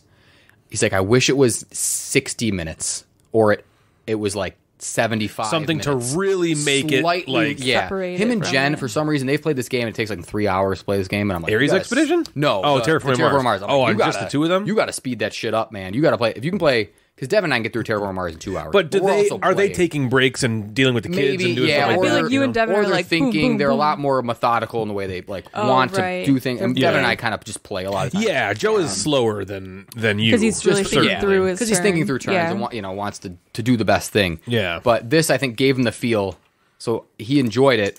But we'll see, kind of, if he wants to play that Yeah. instead. Interesting. You also might not want to admit it, right? Yeah. For sure. Yeah. Absolutely not. Um, so it's no secret, not that really any board game opinion of mine is a damn secret, that I'm not a huge fan of Dinosaur Island. Natalie and I had a pretty unsuccessful play when it came out a few years ago, but so then Dinosaur World, I think that's what it's called, Dinosaur World, came out, and a lot of people I know really seem to enjoy that. And it made me a little bit curious, like half curious. And it wasn't just me.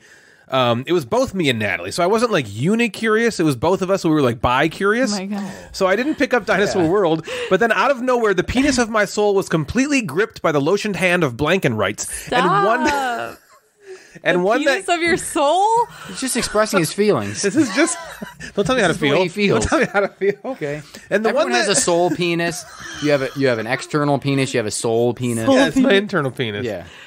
Um, and one that kept directing innie. itself in my face was Dinosaur Island Roar and Write. I finally couldn't ignore this throbbing, bulbous, huge, uh, hung like a dinosaur game any longer and gave it a squeeze. And here's how it goes. So, in Dinosaur Island Roar and Write, you are doing what you're doing in the other games, building out your dinosaur park. Have you played Dinosaur Island, Jeff?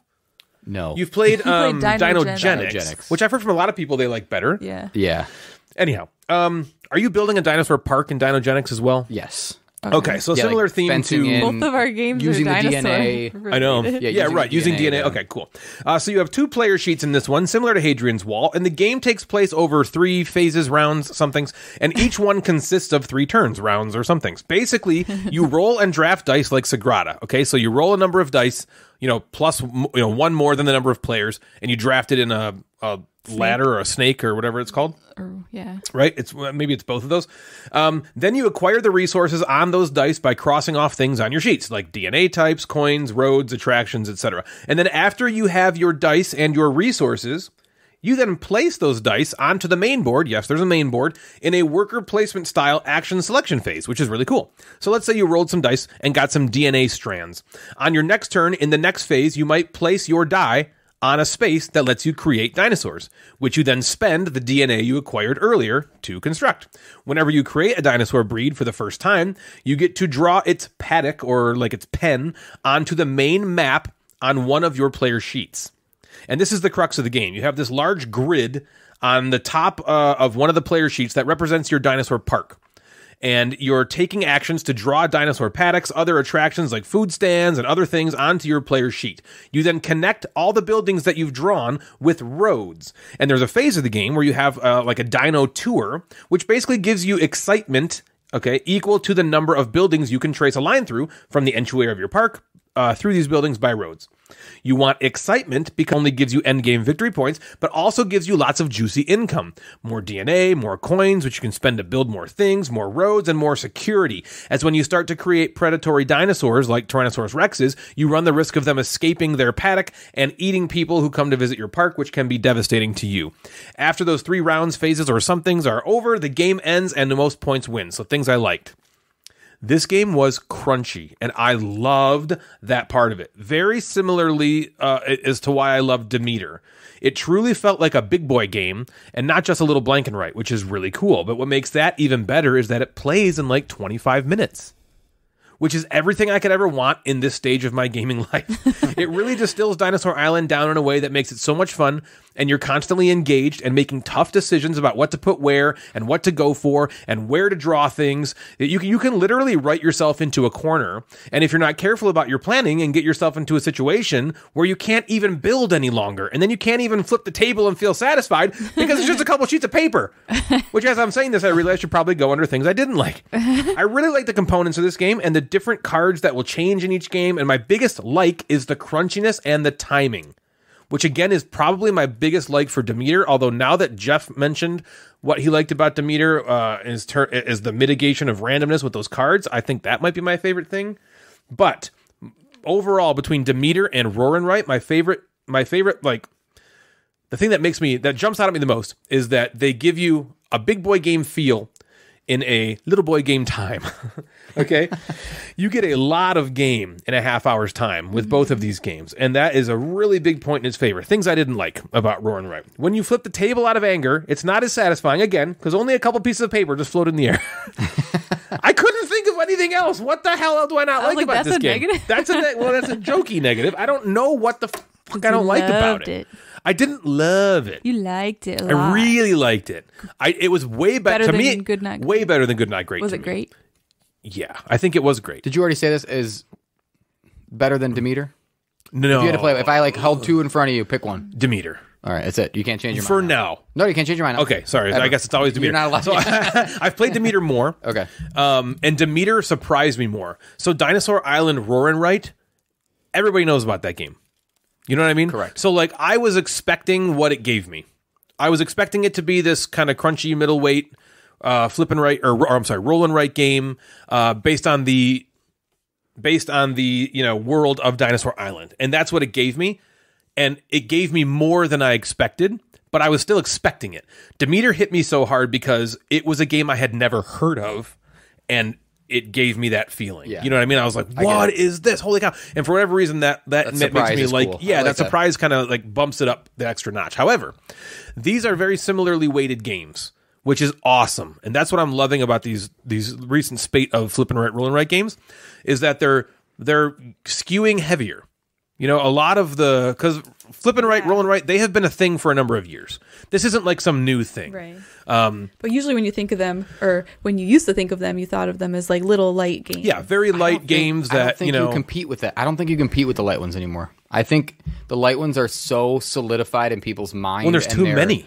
Yeah, they're just people have their light one already. Mm-hmm. They already have their light one, and now that's why Hadrian's Wall did so well. It's like now people have their heavy one. yeah, Right. Yeah. So it's like Where's the I middle? got I need the Qwixx. middleweight I don't one. want That's another what we've Qwixx. been playing, I'll, I'll play Qwixx 500 times. Okay, I would. I don't want another. I don't want another little one. Yes, Yep. you're exactly right. You're totally right. And there's not a huge market, or there wasn't, for these middle of the road, maybe middle to heavy ones. And now there's a few that are all of a sudden here. You know, I would say, I would say like light to middle we got with Rolling Realms because that was that's more than just a nothing little mm-hmm. game. You know, then we have Demeter and Roaring Write that are kind of middle to middle heavy even. Twa dice. Twa Dice is also middle, light to middle, maybe middle.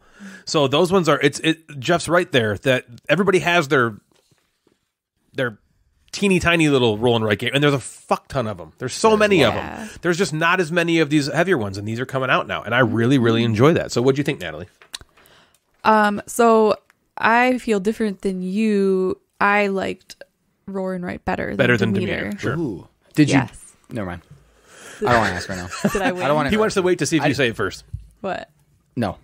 Pass. Oh, win loss. She did win. I just want to know if you did better. She did better. I did better. Okay. But and that that probably But you is a also big said you liked reason. Demeter and you hate and you did poorly. So I, I'm I'm Yeah, I did like Demeter and ignoring I did poorly, but I It's possible. even if I take that factor out of it, I think I still like. I think you can. better. Also, I think you're don't a grown think enough it's- person to take that out. and it's not a bad thing to like a game because you did better at it because you feel good. It Oh, feels yeah, good that I, I figured it out more. Yeah. Well, okay. So I guess the main reason I think that I liked Roar and Write better was because I didn't feel that tight feeling in Demeter. You know, I felt like like I had all these things that I could do. Wait, wait, are you saying you didn't feel that tight feeling like you felt in Demeter? like I felt Okay, in Demeter? okay. Yeah. Like I guess the part that like I struggle with in Demeter is that like it's so tight, and I'm always like Tight. panicked, you know, like what do I do? What's the best thing to do? I don't know. That's I don't I know. love about it. You know, but this one it was a little bit more relaxed in that aspect of Yeah. it.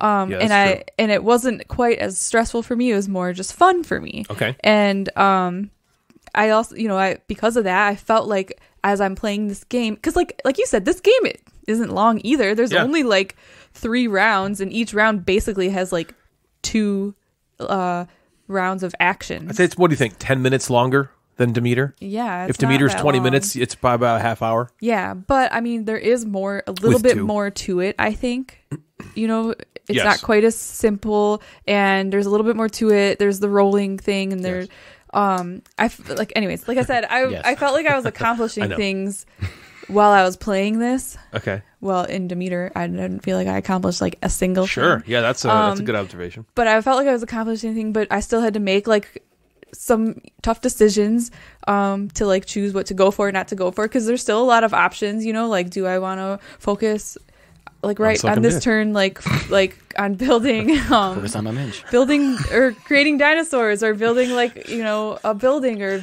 or hiring a person or whatever um So you're saying your minge was wetter for this game than it was for the Demeter? Do you think that made sense? yes that's what i'm saying everybody gets that Yeah. Do you think that makes sense because like that's more logical for you? Because honestly, when I played Demeter, I was like, "What am What I? am I fucking doing? yes. doing? yeah it makes That's normal for yeah, your first I few get- games. I'm I like, will okay, say I'm that. creating half of this dinosaur with his butt print and half of this with a footprint, and then I'm like, I'm drawing this arrow to a book. Yeah, the what? fuck am I don't doing? get any of that. Like I get Yeah. now, like, oh, I'm Maybe. traveling there, and I'm. I feel, Again, I feel like what I'm doing is I'm murdering the dinosaur and then I'm studying it, and I'm like, that's I that's created its fucked butt, up. think you're but I haven't unearthing created it, its I face think. yet. yeah. But maybe this makes more like Yeah. logical sense. Yeah, for sure. Um, I also liked in this one like the production build up because of that excitement like chart. You know, like s- at the beginning, Yeah, you, 'cause yeah, you yeah. get everything that you've circled in it every Right. time you do a Every production, time you run production, phase or yep. whatever. So, like you know at the beginning I get like a few little things, and then later I get like a bunch more things, and at the end I get a bunch of stuff that I can like like you think you're done, and then you run that, and you can do a bunch more stuff right before you score. Yeah, you that's know, so like cool. that was really fun. Um, and I also thought that the I don't remember what they're called. I'd call them the death dots. Yeah, Sounds yeah. It's uh, I think it's threat. Oh, okay. The threat. I thought I liked that too. I feel like it was an interesting like wrench to throw in where like it didn't like it wasn't so bad that you felt like it was screwing you over or, or it was But like it could if you didn't but pay but you attention to definitely it. had to keep it in mind. Like I definitely had turns where I had to like think about that. I couldn't just go off and do a bunch of stuff because I had to make sure that I'm safe over here, or else I'm gonna get some big penalties. You know, so it's like oh, you always have to have that in the back of your mind. And I I felt like that was thrown in like just right. And um, I don't know. I really I thought it was a really fun game, and I'm really excited to play that one again. Me too. I was surprised that I would liked it as much because I was like kind of like Dinosaur Island Dinosaur did not hit. Yeah, very disappointed by that, and everyone. Lo- the hype is like Yeah. everyone loves Yeah. Dinosaur Island, you know, and so I was like, well, everyone's loving this Yeah. game, but I didn't And like that. Am I so- gonna like this? So when Jeff talked about Demeter and he was talking about he was comparing it to like Hadrian's Wall where like like Hadrian's Wall was too much and then this was like cool because it was short Yeah. but it also had like a little bit of like amounts, slight yeah. engine-y stuff. I feel like Roar and Right is just like a step above Demeter in that way, and I wonder if Jeff would like that one better than Demeter too because it's like it's not We're trying to get him to like it better than still Demeter. short. it's not anything Demeter. like I'm Hadrian's never I'm gonna get Wall level. And I'm gonna get roaring write. He is never playing either of those games. I'm going to come to his house and intercept his mail. Playing So he only has Demeter. the So, so he's with me on Demeter. Jeff made some good I points like about Demeter. Demeter. I like it, but I like the other one better. It's just That's cool. Yeah. That's great. Yep. Maybe I'll pick it up. Did the, or were the dice translucent like the other ones? Exactly the same. Good. Yeah. The production don't ruin is so great. too. Okay. The production Is it still, quality like- of it is amazing. Does it fall into that like tran like uh the pinks and the yellows and like those bright highlighter colors No. like dinosaur? No, Okay. it's not like that 80s. that- it's not like that 80s theme. But it's also not like standard color either. Okay. yeah, there's like bright blue, bright and like. I like what you said about the threat. I They're like just like different shades of like the normal Yeah. color. in a lot of like in, even in Demeter, there's not like a negative thing that you can do. So you're not thinking. You're always like Yeah, even in that's even in true. Hadrian's Wall, it's yeah. I guess you have to get to certain points to do stuff, but there's never like, oh, this is bad. Right? I'm doing something that ends up being bad later. In Hadrian's Wall, if you I don't like- do, the, if you don't build the stuff at the top, they come Right, through and they then give you they- yeah, negative so points. that- oh, true, And yeah, that's so that would- basically That's true, what yeah. that's basically what you have in Roar and Right, where basically you have to. There's a, a thing you take where it's like securing your park, but then if you build and create these predatory dinosaurs, they give you threat, and you basically circle a little tiny ne- death dot, Death dot, inside of the circle that you made, which gave you was gave you safety. security. That's like Yeah. protecting and so it. And if you have exceed it, death sure. dots outside of your security dots, then you start taking penalties, which can be very Yeah. devastating. Yeah. They wipe away your DNA that you've collected, or they will actually make you kill off a um, a building on your sheet, which now you cannot use to go on your tour to score, like that and it breaks up point. your But roads. as- having said that, it's it's so bad that you have to pay attention to it, but it's not that hard to make sure you're fine. It's not, you know, Sure. it's not like oh, I have Like to like only waste have to all this about. t- all these turns. Yeah, it's not You the only, just but you l- have to think about it because I you're like going to that. get screwed if you don't. It's um, I'll buy it it yours. really surprised me. Good. I liked it. A, I liked it a lot. I I, liked it I a thought I thought it was great. I really I thought it was great. Um, so both Demeter and Roaring Write blew me away with how like how heavy they were in a quick amount of time. Because Yeah. again, Roaring Write is heavy. Er. Yeah. Than than something like these two crisscross and second chance sitting right in front of you. Right. Um, even Twa Dice, it's heavier than that. But you play them in twenty to thirty minutes. that's I mean, nice. how long did Demeter take us to play? Twenty minutes. 20 minutes. And you could play that. You could, we- right? We could rattle off three games of that in an hour, and you feel like you played some Yeah. games. You know what I mean? Like this was some stuff. Um, so that is Dinosaur Island Roar and Write. I, I say I would recommend it. I would too. I would recommend it. What, what do you got, it. Jeff? I have a non-roll and write or roar and write or. Blank and They're all roar also, right. part of me when that game came out, I was like, "That's not funny." I don't I like it know, either. I kind of thought that too. I was think like, you're not roaring cute. right. It's it's That's also you're not hard. cute. It's also hard to say. Roar, roar. I'm like, roar. that's not cute. I get it. roar. I get it. Yeah. You try to be cute. I'm like, that's not cute. Yeah, Roar, between the like name and rolling- then the fact that it's Dinosaur Island, which we weren't a fan of, I was went into it kind of like, hmm, we'll see. But It I was also- like, this is fun. It sounds a little like Dinosaur Island. Roar and write. You know what I mean? It just sounds a little. Hmm, it's a little. Well, I it's like know. rar. Uh, Yeah, raw. Well, that's the thing. That's why I saying it is like roar, Well, we say roar, like roar. R O A R, but it's spelled R R A A W W R. R. like Right. rawr. That's why I always. no, that's how you gotta do Yeah, it. it's So the way what's it called, I'm doing Natalie? that Say the every time. Dinosaur and then say the whole Yeah. name. Dinosaur Island. Rawr and write. Good. Now I'm okay with it. All right, that, I Well think it's done. adorable. Now it's adorable. All right, I played a new game from AEG just actually last night called Whirling Witchcraft. Whirling Oh. Dervish.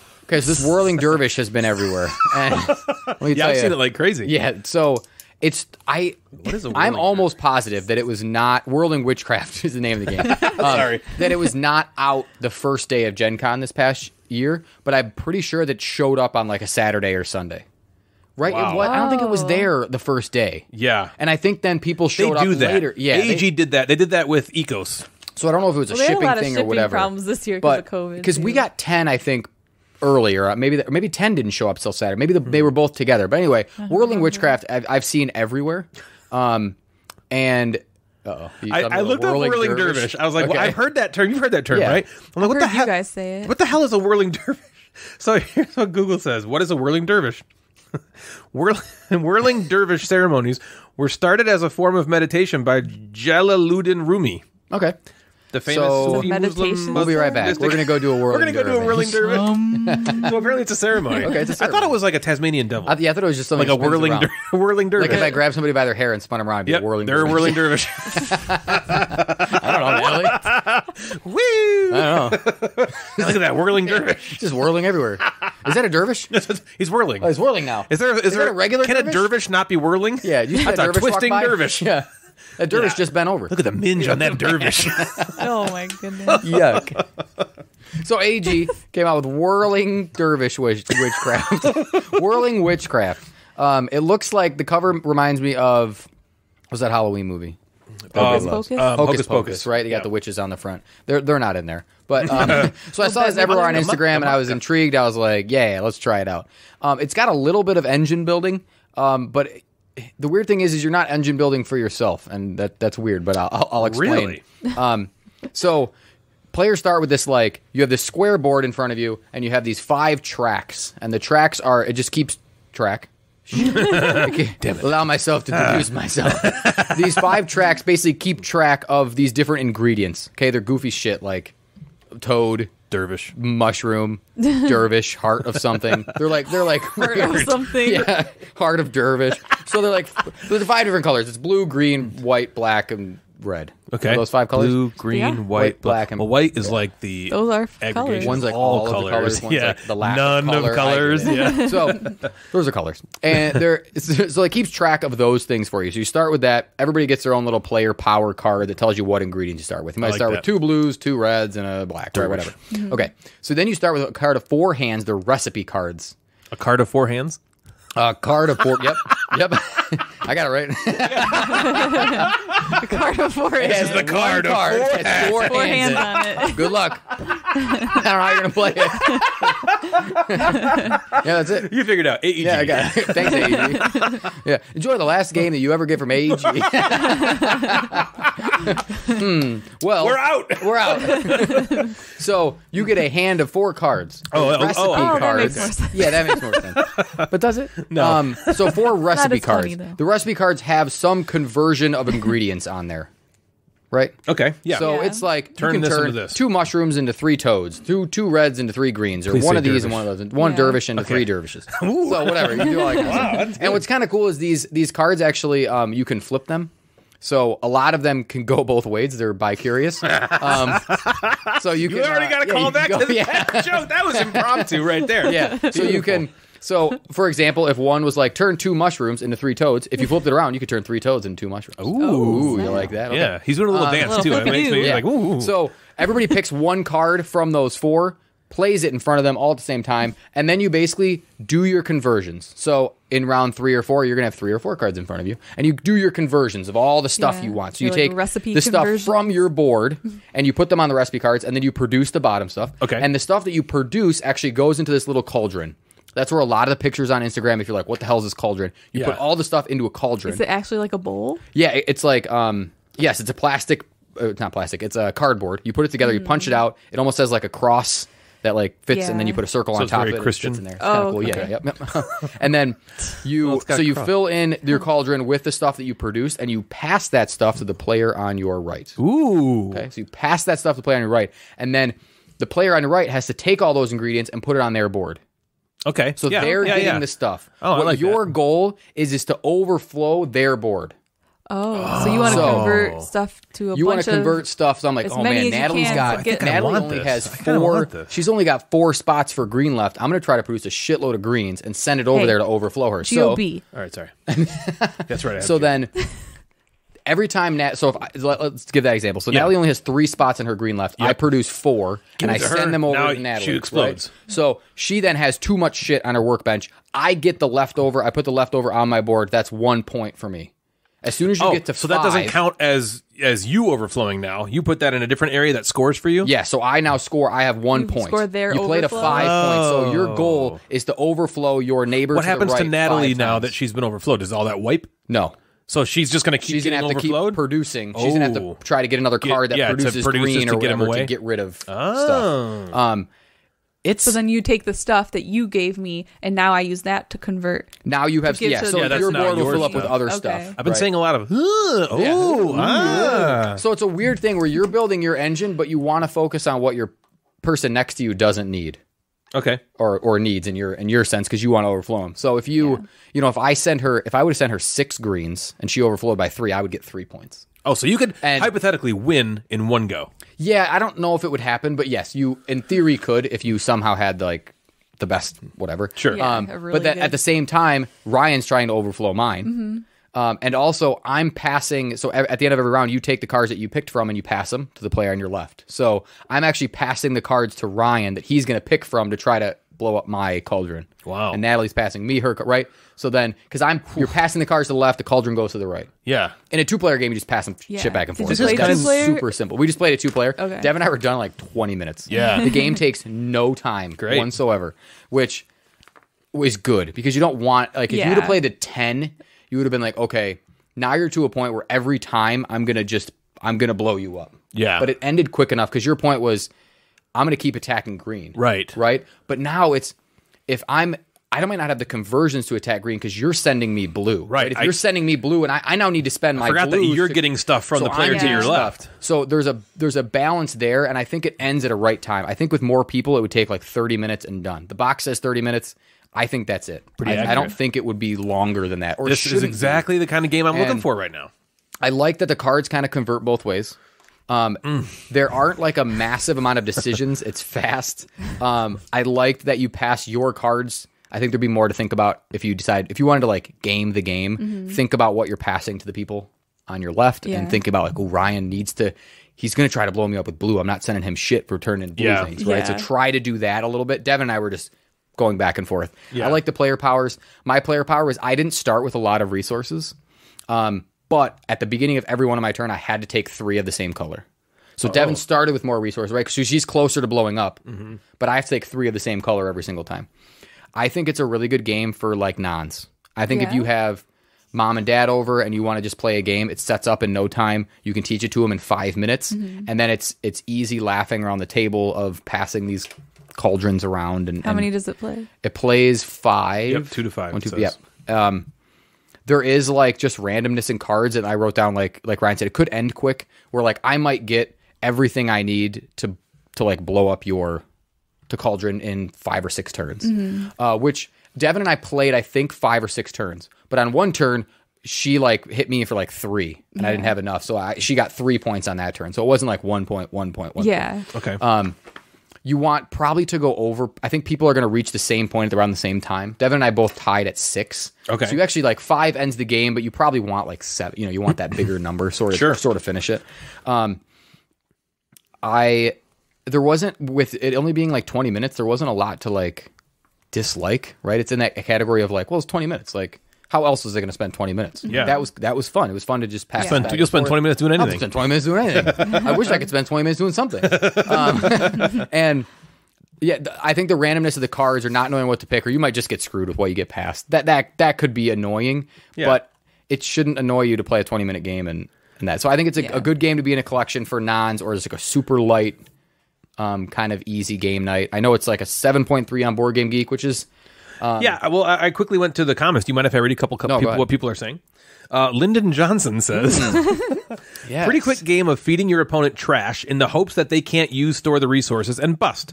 It's a lot about timing, uh, when and what to feed and starve your target. At player counts above three, you have no interaction with the extra players, which can make their victory or defeat feel unsatisfying. So you're only you're only Yeah, because you're left and right, which is Yeah, uh, there's a it's lot of games that work that way. Right. It's yeah. It's like a Seven Wonders, right? You're only dealing with your neighbors. Right. Um, Vlaralorn says, extremely fun game. Trying to bust the person to your right. Simple to teach and play and finishes exactly when it's supposed to, which mirrors pretty much exactly Yeah, what you said. perfect, yep. Jorf says, Oh, Jorf. This game is honestly the perfect entry into engine builders. The entire game can be condensed down to resource management.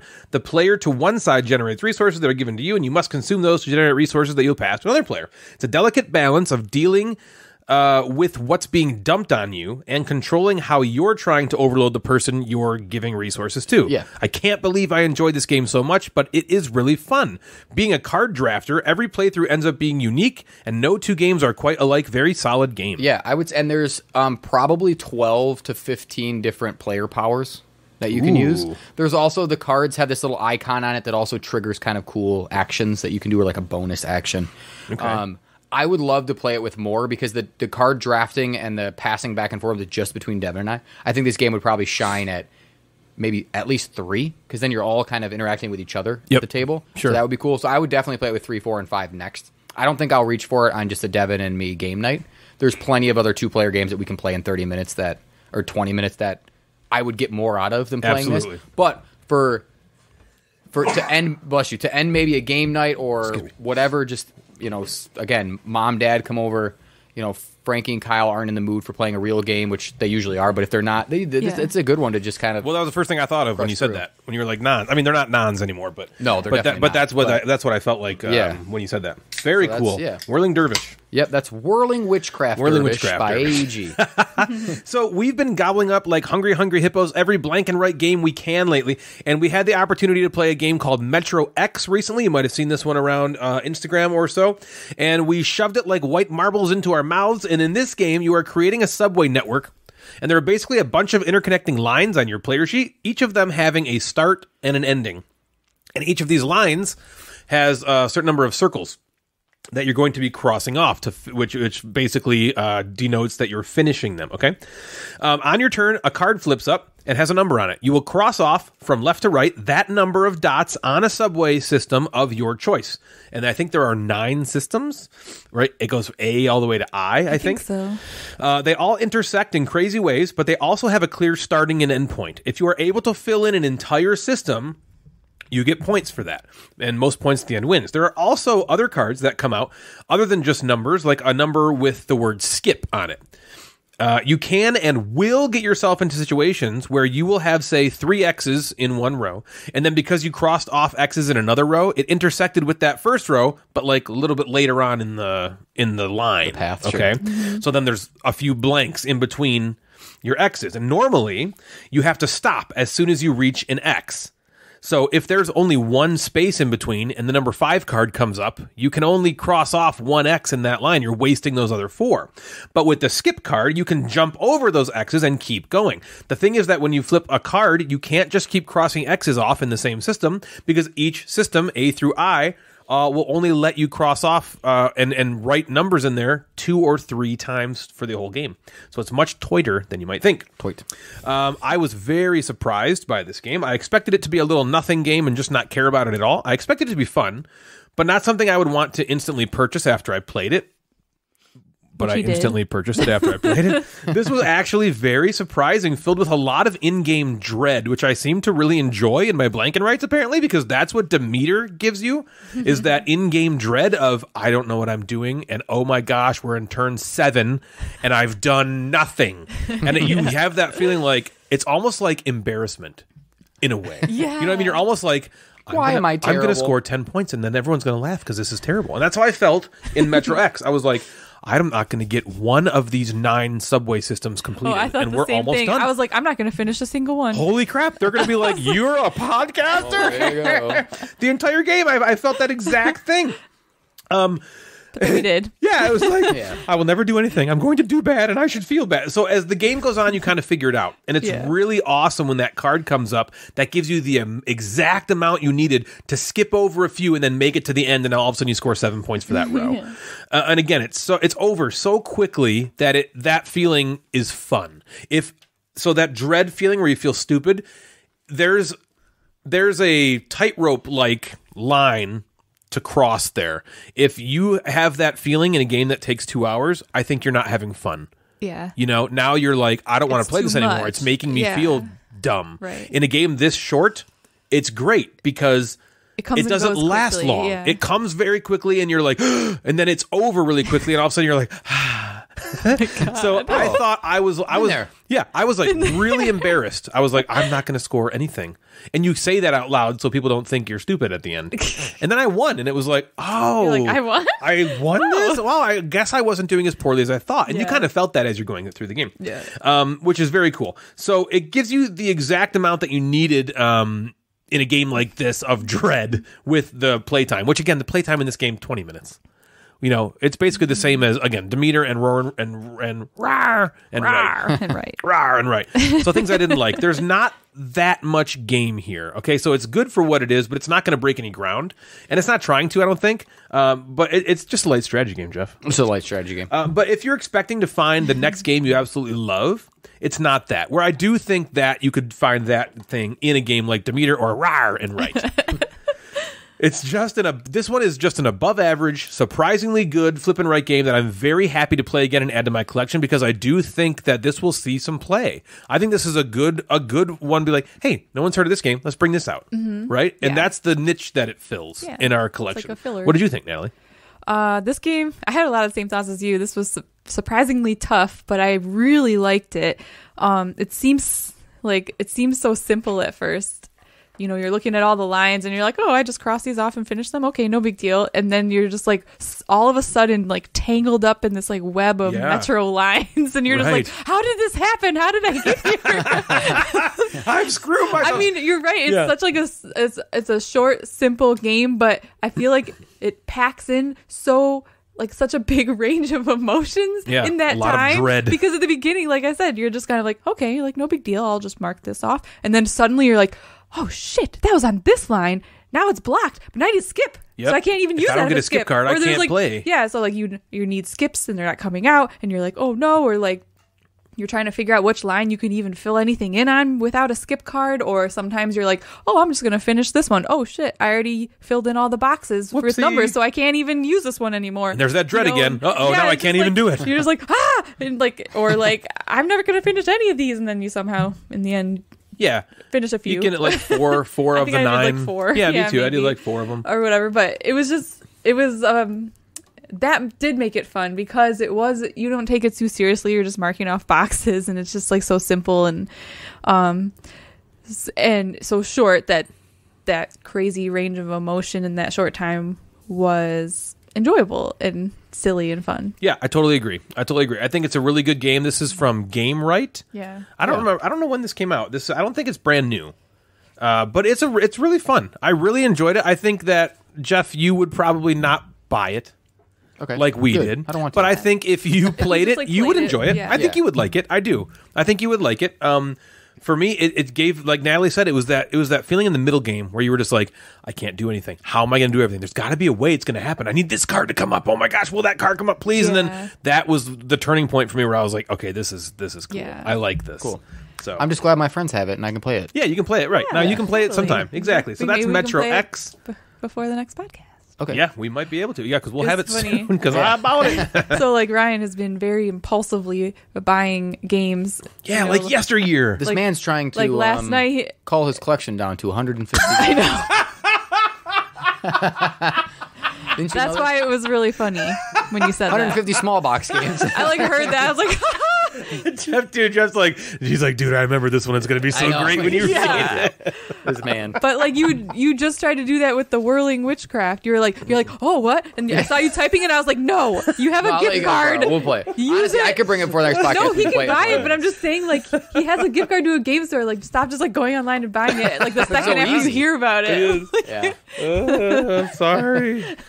so yeah, that's that. So those are the games we've been playing uh, lately. yeah.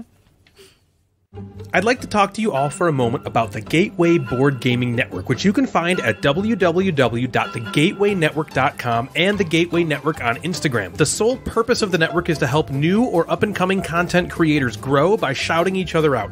If you go to the Gateway Network website, you will find other amazing content creators who are trying to grow as well. They are all amazing people who produce fantastic content. It's very exciting, due also in large part to the merch store there. Yes, we've got a merch store which you can find at www.thegatewaynetwork.com forward slash store. There you can find so many amazing items from a large portion of our members. Whatever kind of content you're looking for, the Gateway will have it. If you're a newer board game content creator and you're looking for a way to grow your content, please consider heading over to thegatewaynetwork.com to learn more. If you're looking to support the show, maybe consider flushing your money down the Gamecaster's toilet by way of our Patreon page. There are four different tiers which will get you access to behind the scenes content, exclusive content, or content ahead of time. You will also get swag that nobody else has access to, and just the opportunity to help out and support a podcast which you sometimes listen to.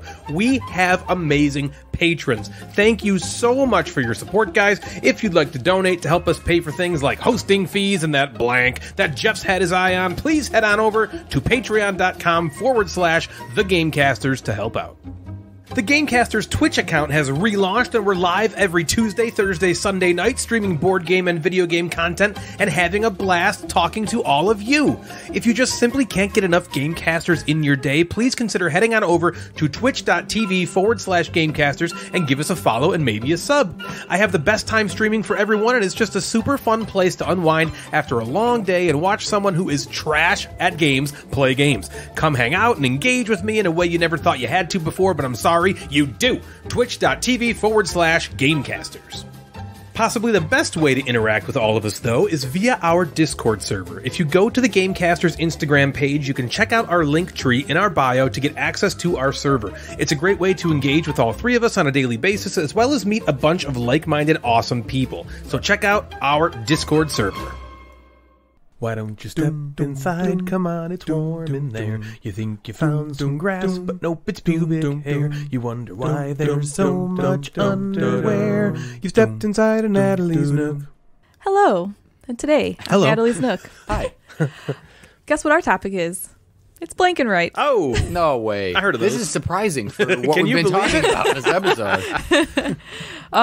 So, what is a blank and write game? The funny thing Hmm, I found is Uh-huh. that I googled blank and write and write and I looked it up in BGG. That's not a term that people No, use. no, it's well, it's not like a legitimate. It's not like a realistic term because it, won't be under started with like rolling. yeah, right? I it was won't- like, it did won't be we- under mechanism, Did we yeah, make when you this look up? at like, that's how like We didn't. not- we start this? I, I- maybe, maybe we did. No, we did not make it up, but it is a thing people say Yeah, because I mean, there's so many different kinds. Right. People mostly refer to flipping right and rolling right. Um, yes. and there's And a, Roland there's a bunch of other ones, but I haven't ever seen blank and write, which is I feel like the perfect way to just describe yeah, all of them, encapsulate all of them. the whole category. But anyways, um, but this this type of game, um, usually includes an element of writing, hence the right. Okay, got it. And- oh, so it's like W R. Yes. I thought it was like right Oh. or wrong. I thought Oh, it was no, no, like no, yeah, Right or left. roll no. or and then look to your Roll right. and then you're right. yeah. so blanket right games usually or always include an element of writing. Um, you might be like filling in a box, checking a box, coloring or outlining a shape, stuff like that, with a pencil or pen or dry erase marker. Um, and in in addition to that, you're also either like rolling dice for like a roll and write, flipping over cards for like a flip and write. Even drafting cards now we played Yeah, in Boomerang. and then there's a bunch Yeah. of other ones. I think Metro X was called a rail and. So Rail doing and that little play on word It's things like right. the Uh, rawr and write. but I mean, Hadrian's Wall. It's not. It's like I guess you are flipping then a card. Now there's but- other ones that aren't as um, obvious Yeah, about yeah. what it would be called. Um, and just, I'm sure everybody knows what these are, but just here's a list of examples of blank and write type games: um, Hadrian's Wall, Second Chance, Cartographers, Dinosaur Island, Rawr and Write, Rar, Silver rar. and Gold, Crisscross, Demeter, Boomerang, Ganz Schön Clever. Welcome Ooh, to yeah, Castle. Party, That's Qwixx, Fleet the Dice Game, Railroading, Corinth. Remember that one? Yeah, I do remember And Corinth. Oh, I uh, didn't Rolling play that. Realms. Yeah. You don't- just buy it. yeah. Okay. Here we go. Yeah, Ryan's gonna Um, buy it. Can you pause? We'll be right back. so I just want to have an open discussion um, about kind of like two different things. What do you like or dislike about blank and write games? Yep. And also the concept is fairly new, you know, but in recent years it has like exploded. And why do you think that is? Oh, Okay. Um. Do you want to go first? Do you want me to No. go first? Okay. Let's- I'll we go can first. just all like Oh, we can just chit chat. chit chat. Oh, okay. It's just like an open. Doesn't- yeah, I know we can speak. turns. We can speak. We don't have to. Okay. Yes. What do we have to do?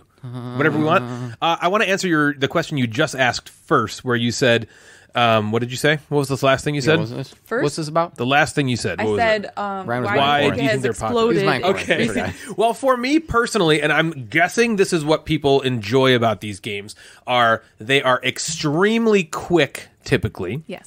There is very, very little setup. Yep. Usually, very little rules overhead, and you get to play a game. And it is just in, intrinsically. I want to stop using the word inherently. It's intrinsically fun. No, inherently fun. It's explicitly. It's implicitly. Oh there's some Oh God. fun to be had. It's really fun to just honestly cross things off That was all just from his brain. That and mark stuff off. it's kind of okay. it's a fun, thing to do to like check a box Yeah. or shade in a, a dinosaur or you know color in something like second chance half the fun of second chance is getting out the colored pencils and drawing those And polyomino shapes one different colors with that and then that's seeing like the are you answering this question? So or am I'm just kidding. I'm just kidding. Yes. No exactly. You're totally right. Ryan, that um, that sort of thing is just really, really fun to do.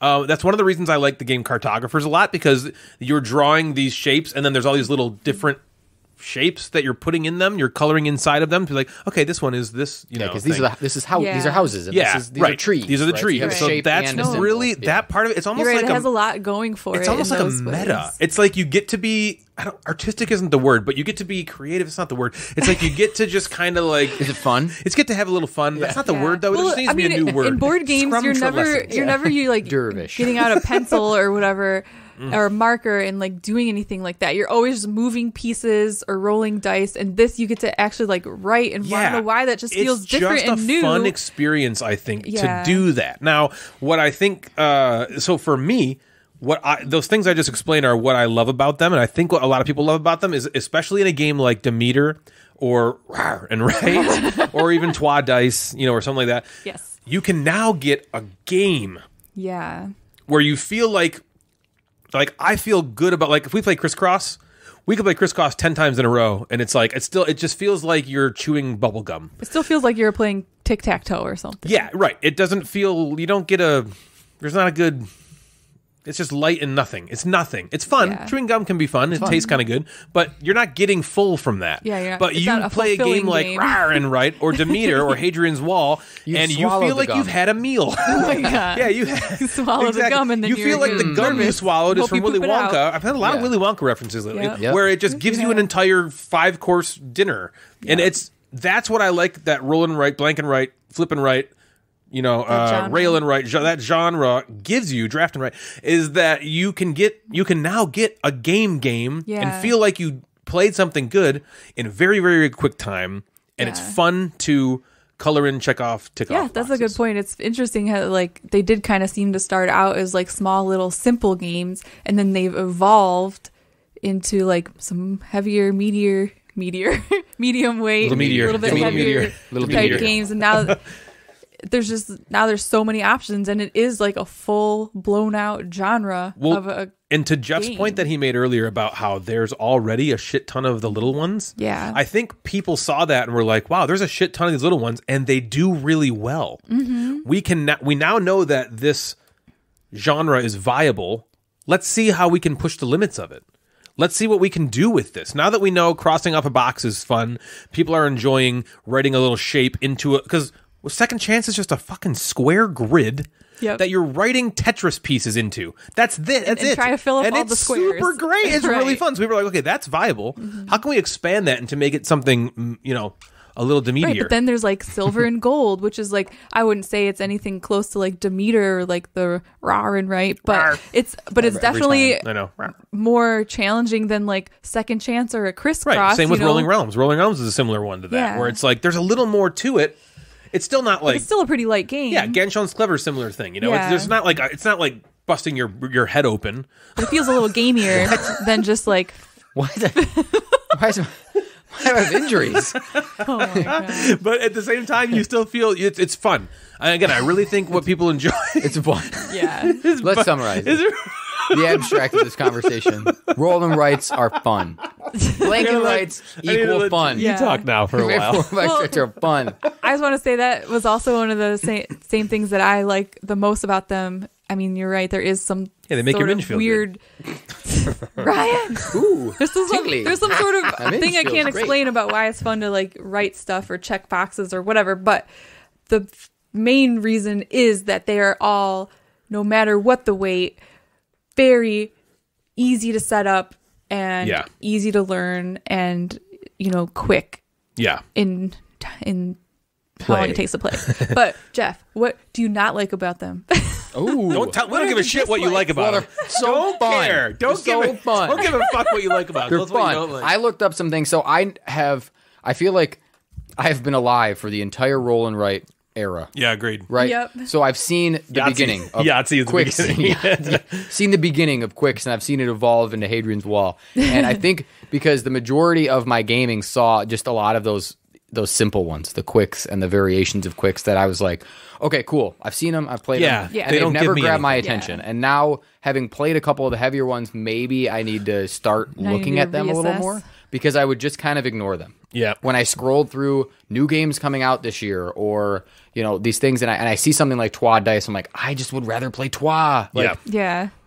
But now, do I? Like, do I just want to play Troyes Dice instead? So I'm maybe I'm try maybe I need to go back and look at some of them because they never they never like grab my attention. Well, that's funny because like that's kind of how we felt for a while. Like we were like really into them at first. We were like, this is so cool, and then we were kind of like, they're all kind of the same. And then we kind of like cooled down on it. But then we played Hadrian's Wall, and we are like, what? Yeah, and then but then you played Hadrian's Wall, and you were kind of like, this is a little too much. Oh my god, my minge was so slippery. Your but, minge is but maybe like now that you played the medium, inflamed. the in between, My willy I mean, now is you're so kind of wet. like, yeah, and again, I'm not. about It's not like I didn't like Bi-curious. Hadrian's Wall. I really, I, I really liked Hadrian's Wall, but it was just, it was like you're like it probably like touched that line of like, okay, do I want to do this or do I want to play like Grand Austria Hotel? Do I just want to play a game? If I'm Yeah. gonna like, do, but again, it's it's me changing that mindset of maybe this is what a flip and write slash roll and write is. I looked up so on BGG there are 641 games that are defined as a roll and right, crap. and 82 defined as a flip and flip and write. Wow. So and this would be pe- different gamers have different opinions.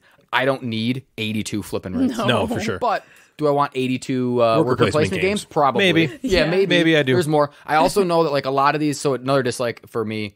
A lot of these flipping rights, rolling rights, they don't have. If you are into theme, they're themeless. Yeah. You can pretend that you're making a dinosaur park. No, you're checking off boxes. Right. You're not. You're writing doing that. squares into a You're- grid. That is Right. not, so you can like try to be like rar, but you're not. right. You're just you just marked off an X. Ryan James, um, AFK. Sorry. And Oh so like Demeter could have been I could have just you know those those things could have just been boxes instead of the shapes of dinosaurs, right? So it was like Right. the theme of it doesn't ever call to me. But when I'm playing Dinogenics and I have like little dinosaur meeples and I have fences and I'm building fences, Yeah. that could get me into the theme be like, okay, now I'm doing something here. Right. But these are just marking off things, which I, I like. It's like to Ryan's point, Ryan, they're fun. It's fun to make those marks and because I think the marks lead to other marks, and then you get excited as you start to make more Right. check marks or boxes or color things in. So I like them. They never grab my attention. I like that the complexity is starting to like widen. Mm-hmm. Like you have this huge. I just wrote down the scale. It probably goes from Qwixx to Hadrian's Wall. I think that's Qwixx is probably the lightest, simplest game ever. No, like in in that Yeah. genre, probably to Hadrian's Wall being the most complicated. Yes. But I'm I'm starting to get more intrigued with you guys talking about The Rawr and write and playing Demeter, seeing maybe those middle of the road ones because if I'm gonna play Hadrian's Wall, do I want to play Hadrian's Wall or do I just want to play Istanbul? Do I want to play Right, Tzolk'in? yeah. Do I just want to play a game if I'm gonna sit down for two hours, an hour and a half?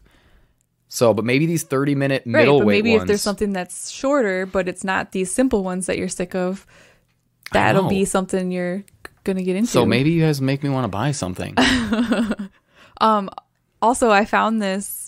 Somebody had on Board Game Geek had said this. Um, what they like about these type of games, and I thought this was interesting. Um, if they said if I had to boil it down, I think what I like about these games is is uh, what I like in games with prominent elements of chance in general the ability to mitigate luck to some degree and the ability to pursue different strategies without one being obviously dominant. And I thought that was a good point because, like, um, almost every single roll and write or blank and write game, there's going to be luck in it because you're rolling a dice, you're flipping a card, you know, you're doing something that's going to be random yeah. but at the same time maybe some of like the medium to heavier ones you also have a chance to like mitigate that luck a little bit you know you have different choices Yeah, I think that person probably likes the middleweight, the Yeah. Demeters, the Rawr and Write, the Troyes Dice, the Right. Welcome Tuesday, the cartographers likes those middleweight ones. Yeah. would probably not want to play necessarily second chance because that's yes, you have a decision of where you want to put it in your box, but toward the end you're like, well, it can only be an L. I only have space for an L, so if it's not an L, I'm screwed. And it is Right. random instead of It kind is. of having five choices every round. Right. So I like I like that that idea. I do know that also if you decide to play a roll and write over at Joe Madigan's house, you better bring your own fucking pencil because that dude pencils? Oh has no writing utensils. is his entire house. we play so we play Jaws of the Lion, not a roll and write. Um, all you need to do at the end of that game is just check off like your missions or whatever, Yeah. and we have to like pass one dull ass pencil around that we found under the couch, Oh my and we're like passing it around, and we're like, oh, I need that back, and you get it back, and you write down, you cross things out. he has kids how does he not have, I have writing no idea. There's probably markers somewhere, but like, Yeah. I don't want a marker. I want just like one pencil to put an X in Yeah. thing. So he has no pens and pencils. That's so I really do funny. also appreciate that when uh, the rolling rights have also moved to like dry erase because there's you have a finite number of plays in theory with rolling rights. So second chance, you can play that game a hundred times. Mm-hmm.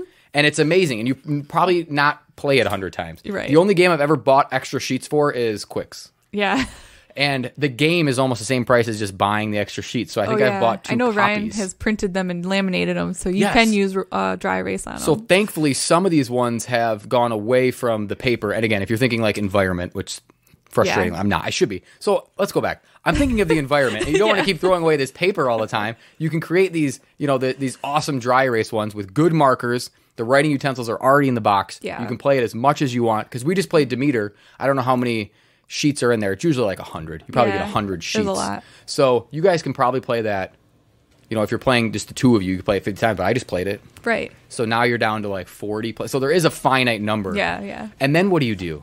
Do companies sell just like replacement sheets? Right. Yeah, that's a good do you? But I love that people have started to move to right more of the especially uh, like the ones stuff. like rolling Yeah, me too. Realm, was it rolling realms rolling back. realms and um silver and gold they they're not even like the glossy oh yeah, they're like so whiteboardy nice. stuff it they're like Yeah, like they look finish. like actual The cards whiteboard technology like, has come a long Come way. yeah, but the whiteboard technology is amazing because they don't even really seem to like leave residue like the whiteboardy stuff Yeah. does. So that I appreciate both again from a that is a good point. They pretended that I care about the environment to also They should the include fact that you don't have a utensils finite. in them. They should just put pencils in When we just played the Rawr and Write, Rawr. we had to we took pencils out of cartographers and just used Yeah, those. some of them do 'em. And I- cartographers had cute little pencils with erasers on them. The best- Just pencil erasers. the best pencils, the Hive Yeah, but a Mind. lot of you times they played don't Hive Mind. erasers. You know Hive Mind. Hive Mind has full size Actual pencils real bees on pencils. them. Real Yeah, pencils. that's so right. again, that's a minor complaint, but just have again, just, if you don't play them at Joe's house, you probably have pencils yeah. around your home. That's what he's saying. Jo- saying they Joe can't doesn't- Joe doesn't have any pencils. Yeah. Well, it's funny. I will say, having kids, like, they use that stuff all the time. And so, like, there was one day Ryan was like laughing at me because I'm like, there's always just pencils everywhere, all over the floor. I'm just like picking up pencils Yeah. off the floor, like, constantly. That's like a that's like a Christmas a present. If you're a teacher thing. out there and you're listening, so Sam, um, Nestor, measles. Yeah, Mr. Measles. If you, I like when I find pencils Devin. on the I'm like, I'm like, yes, and Devin, I'm like, yes, and I put it, I like, it's like little bonus because I give out thirty a freaking day to every kid who doesn't have a damn pencil. Really? So I give them out. So when I get three back at the end of the day, I'm like, yeah, I mean, you're, you're in school. like you're going to need a pencil every day. yeah. It's like if you back. I feel like I never got pencils from my teacher. I feel like I was always like Okay. bugging a student like friend, like need Yeah, a well, pencil, because give me teachers pencil. used to be in a stand like, "Don't you Yeah, dare! ask you for- better not should ask be me for a prepared." pencil. And Yeah. I'm just like, it's a fucking pencil. It's a 12 year old kid. Of course he Yeah, forgot a it's like pencil. 12 Just give him a. pe- You're gonna make him not learn all day and be pissed off because you didn't give a pencil. I'm with that 100%. So I'm like, give him a pencil. It's like when you bet like 10 bucks on something. You play Keno, you bet ten dollars and you win two back. You're like, all right, I won two bucks. Yeah, wow. Well, I really lost only eight. lost eight. Yeah. so yeah, cool, Natalie. That was good. Good Yeah. rolling rights, flipping Do you right. have anything more to blanking say rights. than that you missed half the discussion? Maybe I love them. I think they're fantastic. I'm gobbling them up. This is my new polyomino Yeah, this is that's kind exactly what I was gonna say. This is your new polyomino. Yeah, team. this is like my new polyomino thing. I'm like excited to play all of them that I can. After playing so Boomerang and Demeter, when I played those two, it was like I so it was kind of like Jeff. I was like, well, I've kind of seen them all. And then Boomerang and Demeter came out, and I was like, oh, Ooh, these are whoa, fun. these are That's kind of what I said. I was, Yeah. I was These like, are this really might start good. piquing my interest in maybe finding a good middle, middleweight. I think you would enjoy. Rawr. I think so, I think too. you would Maybe enjoy that'll that. be- I think it's be the good. one I'll do. It's a good one. So yeah, I think that's a great nook. So for the game of the episode, we are doing a little bit different here. Ooh, but same, but different, but same. Yep. The game that we play when we don't have a game to play. So we still have not gotten this completed. So what we do is we take 30 games and we have set the timer for 30 three minutes. minutes. And normally we have Natalie read to Jeff. Jeff gets the games, or Jeff reads to Natalie. Natalie gets the games. We're doing things a little different this time. Jeff prepared the list, and I am going to try to get Natalie to guess 30 games in three minutes time. now here's what's gonna happen.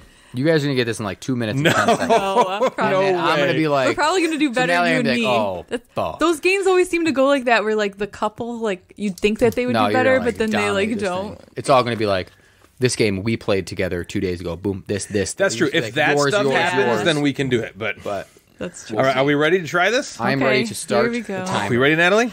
Yes. All right, go ahead, Jeff. Three, Whenever you're ready. Two, Yep. one, go. Okay, number one game of all time, huge box game. I got rid of it. We have Jaws of the Lion. It's called. Uh, Gloomhaven. all right, um, this is a game about birds. Wingspan. Yep, this one is a game, a dice play, dice rolling worker placement game, and you're going onto this this planet, and you're Um, on Mars. no dice Terraforming placement, Mars? Dice dice placement? placement. So not not Kingsburg, but Terramis. okay, dice placement. So you're up in space, and you are what? You're not a member of Earth. You are an Alien Frontiers. Okay, God, thank God. Sorry. Okay, this is a game where you're pulling things out of uh, pressure le- Orlean? No, pulling. Uh, yes, Quillenberg. Um, this is a game that we, you, me, and Jeff just played before the show. Demeter. Okay, this is a game um, that you got these huge chunky dice. It's a rolling right. We just talked about it. It's you're Um, you're playing it. Dinosaur. Huge chunk, Oh. two, only two huge chunky dice. We did. We keep getting new cards for it. We got one for Rolling Realms. Yes, very good. Okay, this is a game. It's called Seize the Day. Um, Carpe Diem. Yes, this is a game where you're in Australia and you're throwing this thing. What that thing you're throwing, right? Okay, this one is Jeff's favorite game. You played it at Nerdfest. Underwater again. Cities. Yep. This is the game we just played, uh, where, where um, it's like a one versus all, where you are Mind the one. management. Yep. Okay. Um, this is a game that we played. We didn't really like it. Ben and M got it for us in the dice box. Oh, Dice Throne. You Dice said box. dice. Sorry. Um, okay, this one you're pulling things out of the bag. You said it before, not Orlean. quacks, but yep. Okay, this one is a game that we got. It's got the penis uh, thing where you put the, Oh, uh, things Luna in. Capital. Yes. This is a game. It's sitting right on the table there. We talked about it. You can play it ten times. It's like chewing bubble gum. Crisscross. Yep. This one game Jeff just talked about as one of his games where it's kind of like Halfway. a smaller version of a media or bigger game.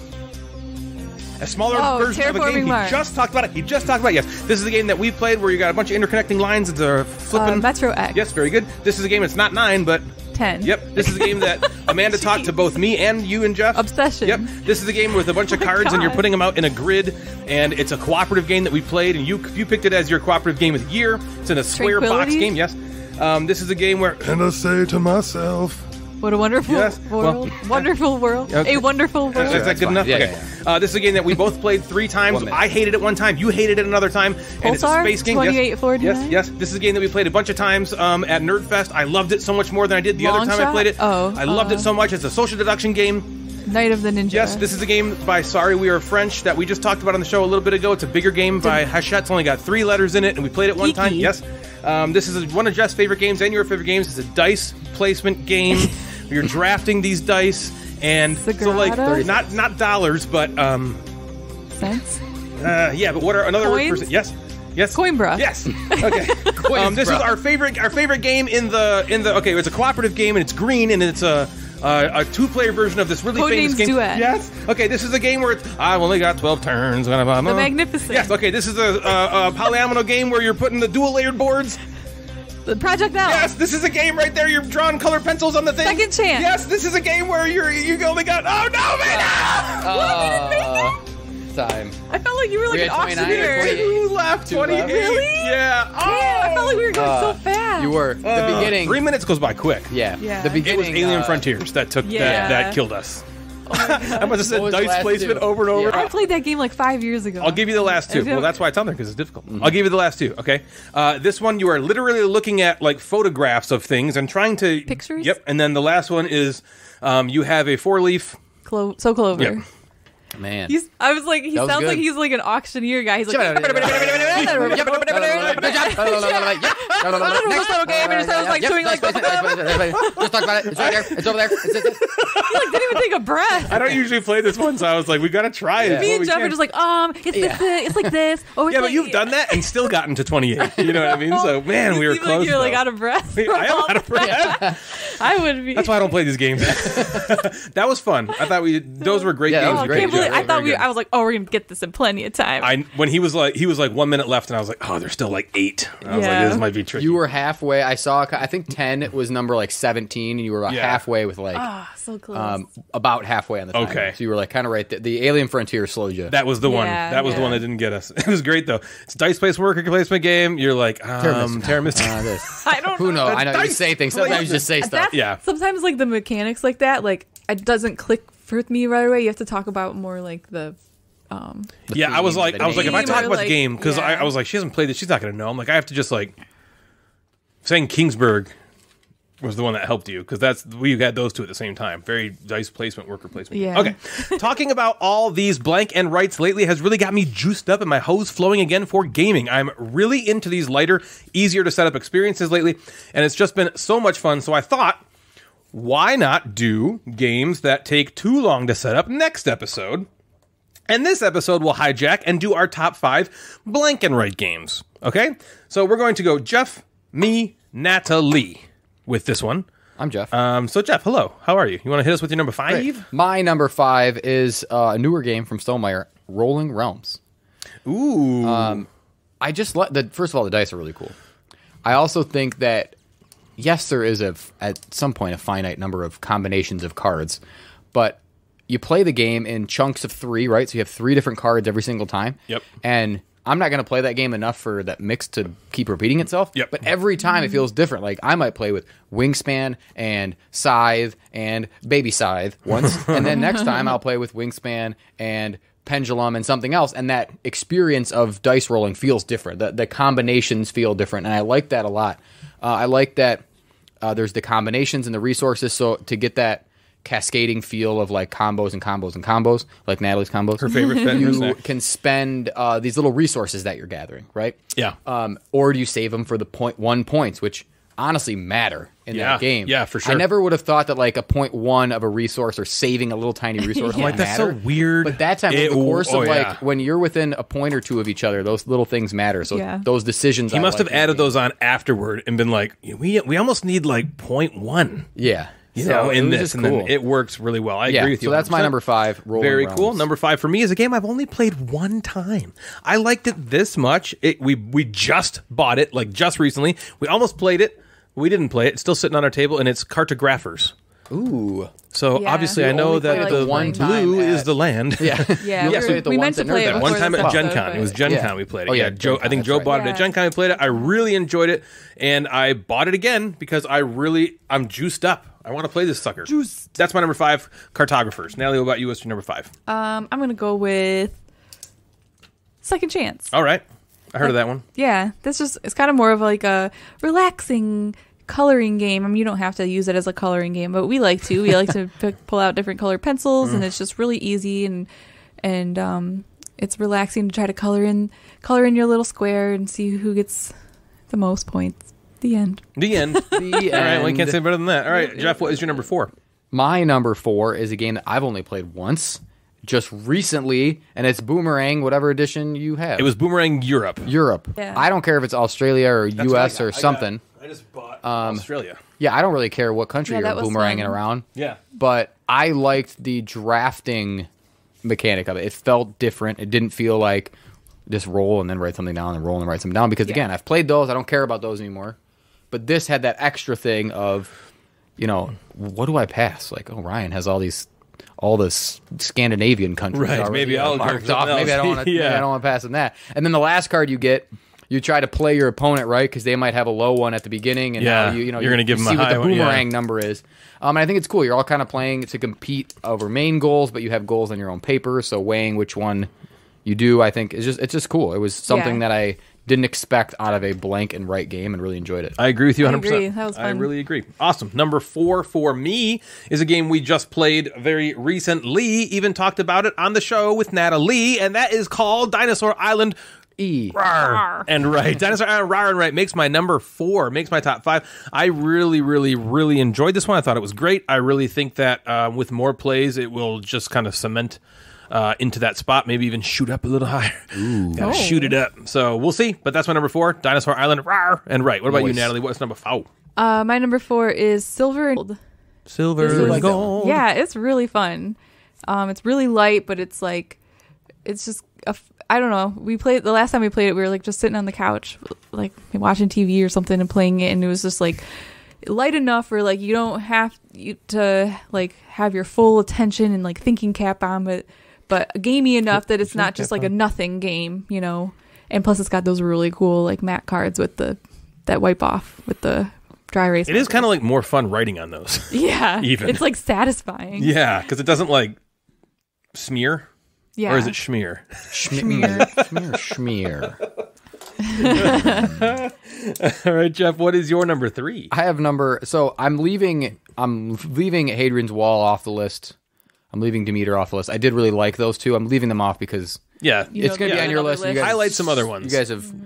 Sucked that one off a few times. We have in the blown the Yeah, shit so, out of it. Um, number three is kind of a cool game called Lanterns Dice. I Yeah, that was a cool game. Yeah. Yeah, Chris Bryan. Um, the the again the unique thing about that game was uh, perspective also matter of how you're looking at uh, the dice and how you place them on Leon your your mat. So the the first person actually gets to roll and then orient the the little tray, right? I think that's Yep. kind of cool, and it also Yeah. throws in a little bit of polyomino with you and Yep. filling in some spaces and having some cool combos.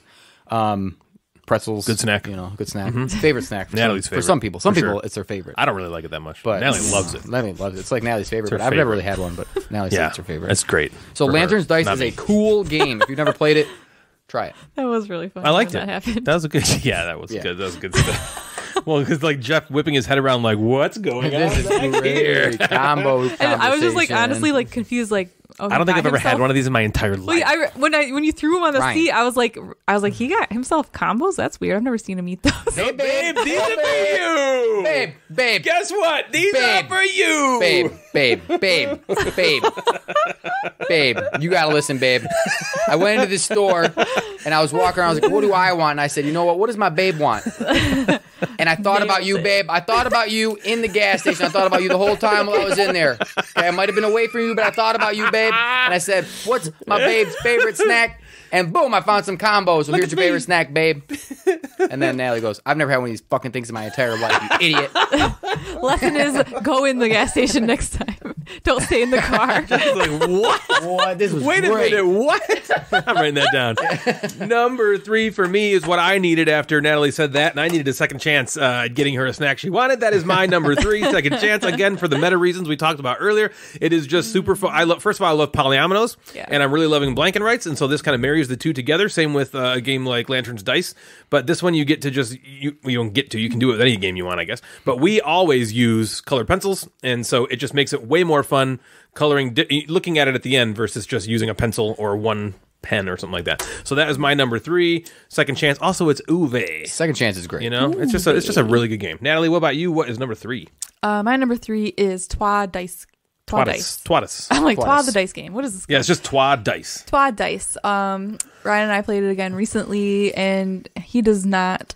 He's not a big fan of this game, but I really like it still. Um, it's got the big chunky dice. It's got the see-through dice. So. Yep. like one cool part about it is um, when you place the dice, it becomes the color of the tile that you place it on.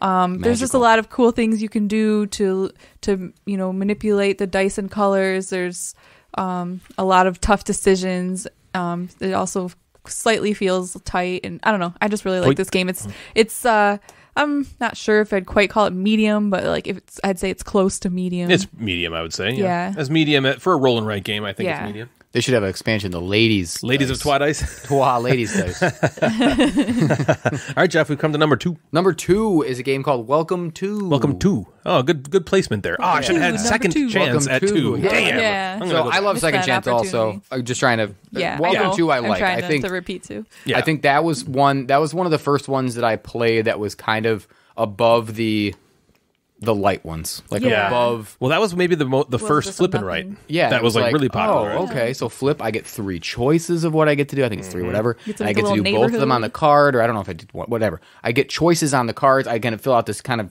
cute little neighborhood. Um, Yeah. They've expanded that endlessly. I think they have like Halloween maps, and they have Welcome to Vegas, and they have Welcome to the Moon. I think Isn't there like. Welcome to Hell or something? like zombies it's like something like that. It's like welcome. yeah, I'm, that's fine. Yeah, El Diablo. Yeah, El Diablo's there. oh, you rate El Diablo. You flip the El Diablo card, you lose. so yeah, I I just think that's cool, and I I think it just can keep going. You can just throw maps at it, and it can people can. Yeah, right. Yeah. So welcome to is my number two. Very good. Number two for me is a game that Jeff mentioned that he wasn't going to put on his list because he was going to, you know, we've been sucking his dick a lot, and I'm going to suck it again. It's called Demeter. Mm. It's a little Demeter. I'm really, really, really excited to play the expansion content, or even there's like another map that it comes with that's like the same as the basic one, but it just switches a couple things around a little bit, and so I'm excited to play that, which is a different way to play just that. Yeah. I also think the replayability is extremely high in this one for those those uh, scoring tiles that are sort of reminiscent of like Isle of Skye E, where they come out differently each time. There's four different ones, and they're you know sorted differently each game, which is gonna again, it's gonna make the way that you play the game different every play. The things you prioritize are going to be different every play based on those scoring tiles. And I think it has enough in it that it just really, it just blew my socks off. And I really like it. And that's Demeter. Natalie, what about you? What is your number two? Well, I'm not going to say my real number two because I'm pretty sure it's Ryan's number one. So I was trying to come up with another one um, that I even remember. I'm just going to go with um, What crisscross? Did you crisscross. it? Yeah. She loves You crisscross. love this You crisscross always game. say You it that. all the I like love it so much. You just much. put it, It as number up- two on your a lot. top You do say five. crisscross a lot. You love that game, That's- babe. it's basically like a step above like tic tac toe, pretty much. You I've just, never, I've never even seen It's this so game. little and light. It's the good doctor. It's Can basically like you're just you're rolling these dice that have different shapes on them, and you're filling the shapes into this square, and you're trying to get like Bingo. multiple. re- multiples of the same shape in like diff- in rows and columns, and then you get points in the rows Trying and to get columns. bingo. It's just like so little and and light, but it's pretty Very fun. little light. Yeah, it's a good game. Awesome. All right. Uh, and now you can't say that you don't like it that much. It's number two on your top Yep. five blanket rankings of, Of all all time. time. Jeff, what is your number one? My number one. I'm just gonna go. I'm just gonna go straight up OG Qwixx. Yeah, baby. Yeah, Fuck it. That's a good game. Quick, That's a fun ass game. We played the shit out of that game. We played the. And all you do is like, we got ten minutes left of game night. Just play quick. Well, it's cool because you have the one It's- column you have to go low to high, and the other Yeah. one you have to go high to low. and you just like it's just so simple it's mindless you have turns on other people's turns so everybody gets a chance to roll some dice but you also are playing on other people's turns it again it's not it's probably the easiest of the roll and writes but it also is the one that kind of, for our group anyway, was like the first one. yeah it started Yeah. it for us so it was like this is this is what all these simple roll and writes are going to be compared to and do i want to play crisscross instead of Qwixx i don't know i've never played crisscross but every time i get one that's what i did yeah. Um, but now maybe with some of these heavier ones, that change that should Yep, change my for sure. mentality. Yes. But if you're gonna make a light one, it needs to for me it needs to be better than Qwixx. And Qwixx is so simple and easy, and I played it a million times that I'll just keep playing it over and over again. So you better better bring it. Yep. I hear you. Knock out Qwixx. I hear you. For me, the one, the one that I played that knocked out Qwixx for me was um, Ganshon's Clever. yeah, that was I was thought that was going to be on one of your lists, and I didn't. So you didn't put it on? But that was that's it was, one it's of an my honorable favorites. mention for I me honestly, for sure. I don't remember it. Well, it's coming back. I was. Are you um, serious? You So bought it again? number one for me got is a it game You got rid of called? Hadrian's Wall. I don't know if anyone's ever heard of that one. It's think we it's got rid of definitely a blank and write. No, we definitely still have Hadrian's Wall in the collection. I mean the- that is definitely still here. Um, and it is one of my not just favorite blank and write games. I I think it is one of my favorite games. I think if I were to do my pub, Pub meeple, Meeple I should probably do it again. I think that would beat out a lot. Would beat off a lot of beat games. off lot It's going to beat off so many games, making its way into the minge of my top ten. Yeah. I think is what's going to happen. I'm going to switch out. Goncho and Clever and Lanterns Dice got swapped. All right, boom. Lanterns Dice, you're out. You're out. Ganz Schön Ganshon Clever, Clever, you're you got now in. Yeah. Have you played the Suck other two? There's two Cubed more. and other ones? No. Yeah, Cubed is the third one, and then That's another thing. If you're going to have little all these better, line clever. up, first of all, just fucking don't. Okay, just stop it. I don't want gonna, all three don't. of those things. Yeah. Just, it better be better than the first one because if you're not, you're just wasting your time. Yeah. So Ganz Schön Clever is good, and again, people are probably like, "Oh, the second and third one are way better." I'm like, but is it? Is it that much better for a You 20 don't minute game typically that I want to hear about it? those versus Genshel's clever. I feel Yeah, like. I've never heard That of one's sweet. two. I do like that one because again, you're playing other people's turn. You draft that, whatever. Yeah, I don't remember that one. It's cool. It's Natalie, your cool. number one is not Hadrian's Wall. No, I, I mean I love I think it's Hadrian's Wall. rawr. That was my number two. But yeah, you're right. My number one is Dinosaur Island. Rawr and Write. that game was so great, and it, It was was like the perfect fun. weight and the Guess I'll just perfect time, and We'll it was just back. really fun, and I'm excited to play it. It's funny because as we were playing the game, I was doing the audibly like, "Oh wow, oh I like this. I'm having a lot of fun," and you were you were kind of like, "Yeah, me too." You know, and I was so I, I wasn't That's like how I sure how express you that I like felt. games. Yeah, it was it was Yeah. almost a Jeff thing where I used to think that meant like, "Oh, he doesn't like it," but now I know he means exactly what he says. I like it. It's good. Where you, I was kind of like, "Hmm." Does she hate this thing? Yeah, I wasn't sure. Well, I, I was like, like- "Do you like it as much?" I felt like I, it was not one of those games where like I mean it was our first play, so I didn't fully know what I felt in the middle of it. You Yeah. know, it wasn't until we until after you completed beat the shit out of me that you were like, of "Oh, the- I Oh, this do is the like." Greatest game. One of the best parts about it was the end. you Yeah, know? winning.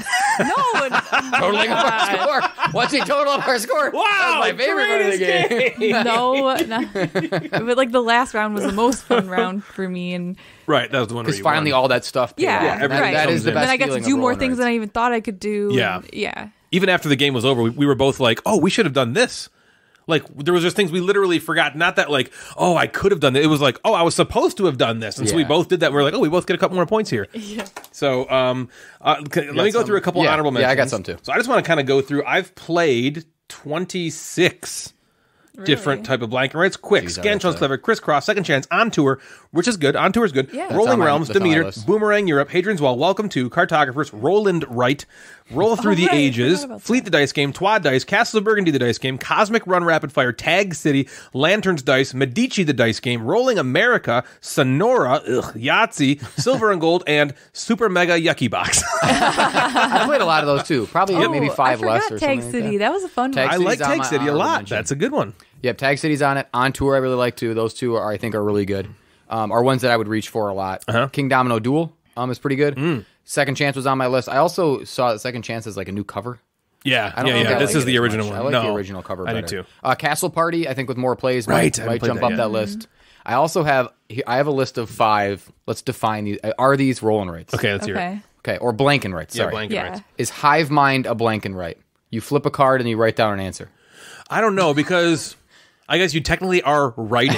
You Yeah. are flipping a But card and then feel like maybe. that's a great question. I do feel like I for feel the like blanket no. right genre, what about you have to like cross off and tick code stuff seven off. seven seven.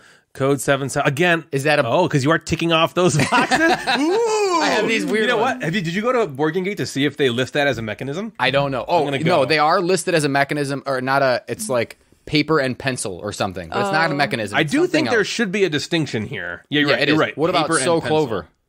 I thought that too. Yeah, I, I would say no. I would say say no, too, but I thought it was funny. What about mind management? A move and write, oh, kind of. or that would be letters from Whitechapel. But only also. one So I person. agree. moves. Only Kind one of. person writes in that game. It or does- any Sherlock game where you flip a page and then write down your Yeah, you notes. write down your Yeah. notes. yeah, that's a great call. I definitely think that it's just named poorly, Yeah, right? Yeah. But what else would you name? But yeah, that's really funny. But yeah, there is definitely a distinction. I I, I think in all those, but that is really funny because you're trying to argue against it. and You're like, uh, You're like, you know, kinda well, you gotta like Uh, check off a well, box. You're you- like, okay, you're code flipping seven seven something seven. and It's like, oh, Oh, I'm checking box. well, but uh, but no, man. Dry erase markers. Yeah, Yeah. that's Natalie, you got some- Yeah, what's your honorable mentions? Um, Nothing that you guys haven't already said. I thought you were gonna be like nothing you guys have heard of. Nothing. well, all the ones that Ryan read were all the ones that played. So Yeah, so you probably same. played those as well. But any that ones. sp- that stick out that you would like to give a shout out to? you probably don't remember, remember anything. Tag City. She doesn't remember shit. Yeah, Tag City, City. Hadrian's Wall, Rolling Realms. I like a lot. Um, and Boomerang was really fun too. I'm excited to get that played now that we Yeah, me too. own it. Yeah, we have the Australia version, which was the original version. It's a redone version of the original version. So that is our top five blank and writes in our blank and write heavy episode, and that's going to do it for that. So that's going to do it for us tonight, everybody. If you'd like to get a hold of us, you can find us on Instagram at Gamecasters or at Mad Board Gamer. Both of those accounts service the podcast. We also have a Facebook group. Just search Gamecasters and you'll find us there. You can also email us at the Podcast at gmail.com. If you like the show, we'd love it if you consider giving us a rating on Apple Podcasts or anywhere else you listen that allows you to rate us. We've also got a Patreon. If you want to support the show, feel free to head on over to patreon.com forward slash the Gamecasters. There's also a merch store where you can find all sorts of different Gamecasters, Mad Board Gamer, Gateway gear. So head on over to the gatewaynetwork.com forward slash store. Please follow me and consider subscribing on Twitch at twitch.tv forward slash Gamecasters. So for Natalie and Jeff the Mad Board Gamer, I'm Ryan, and you have been listening to The Gamecasters. Good night, everybody.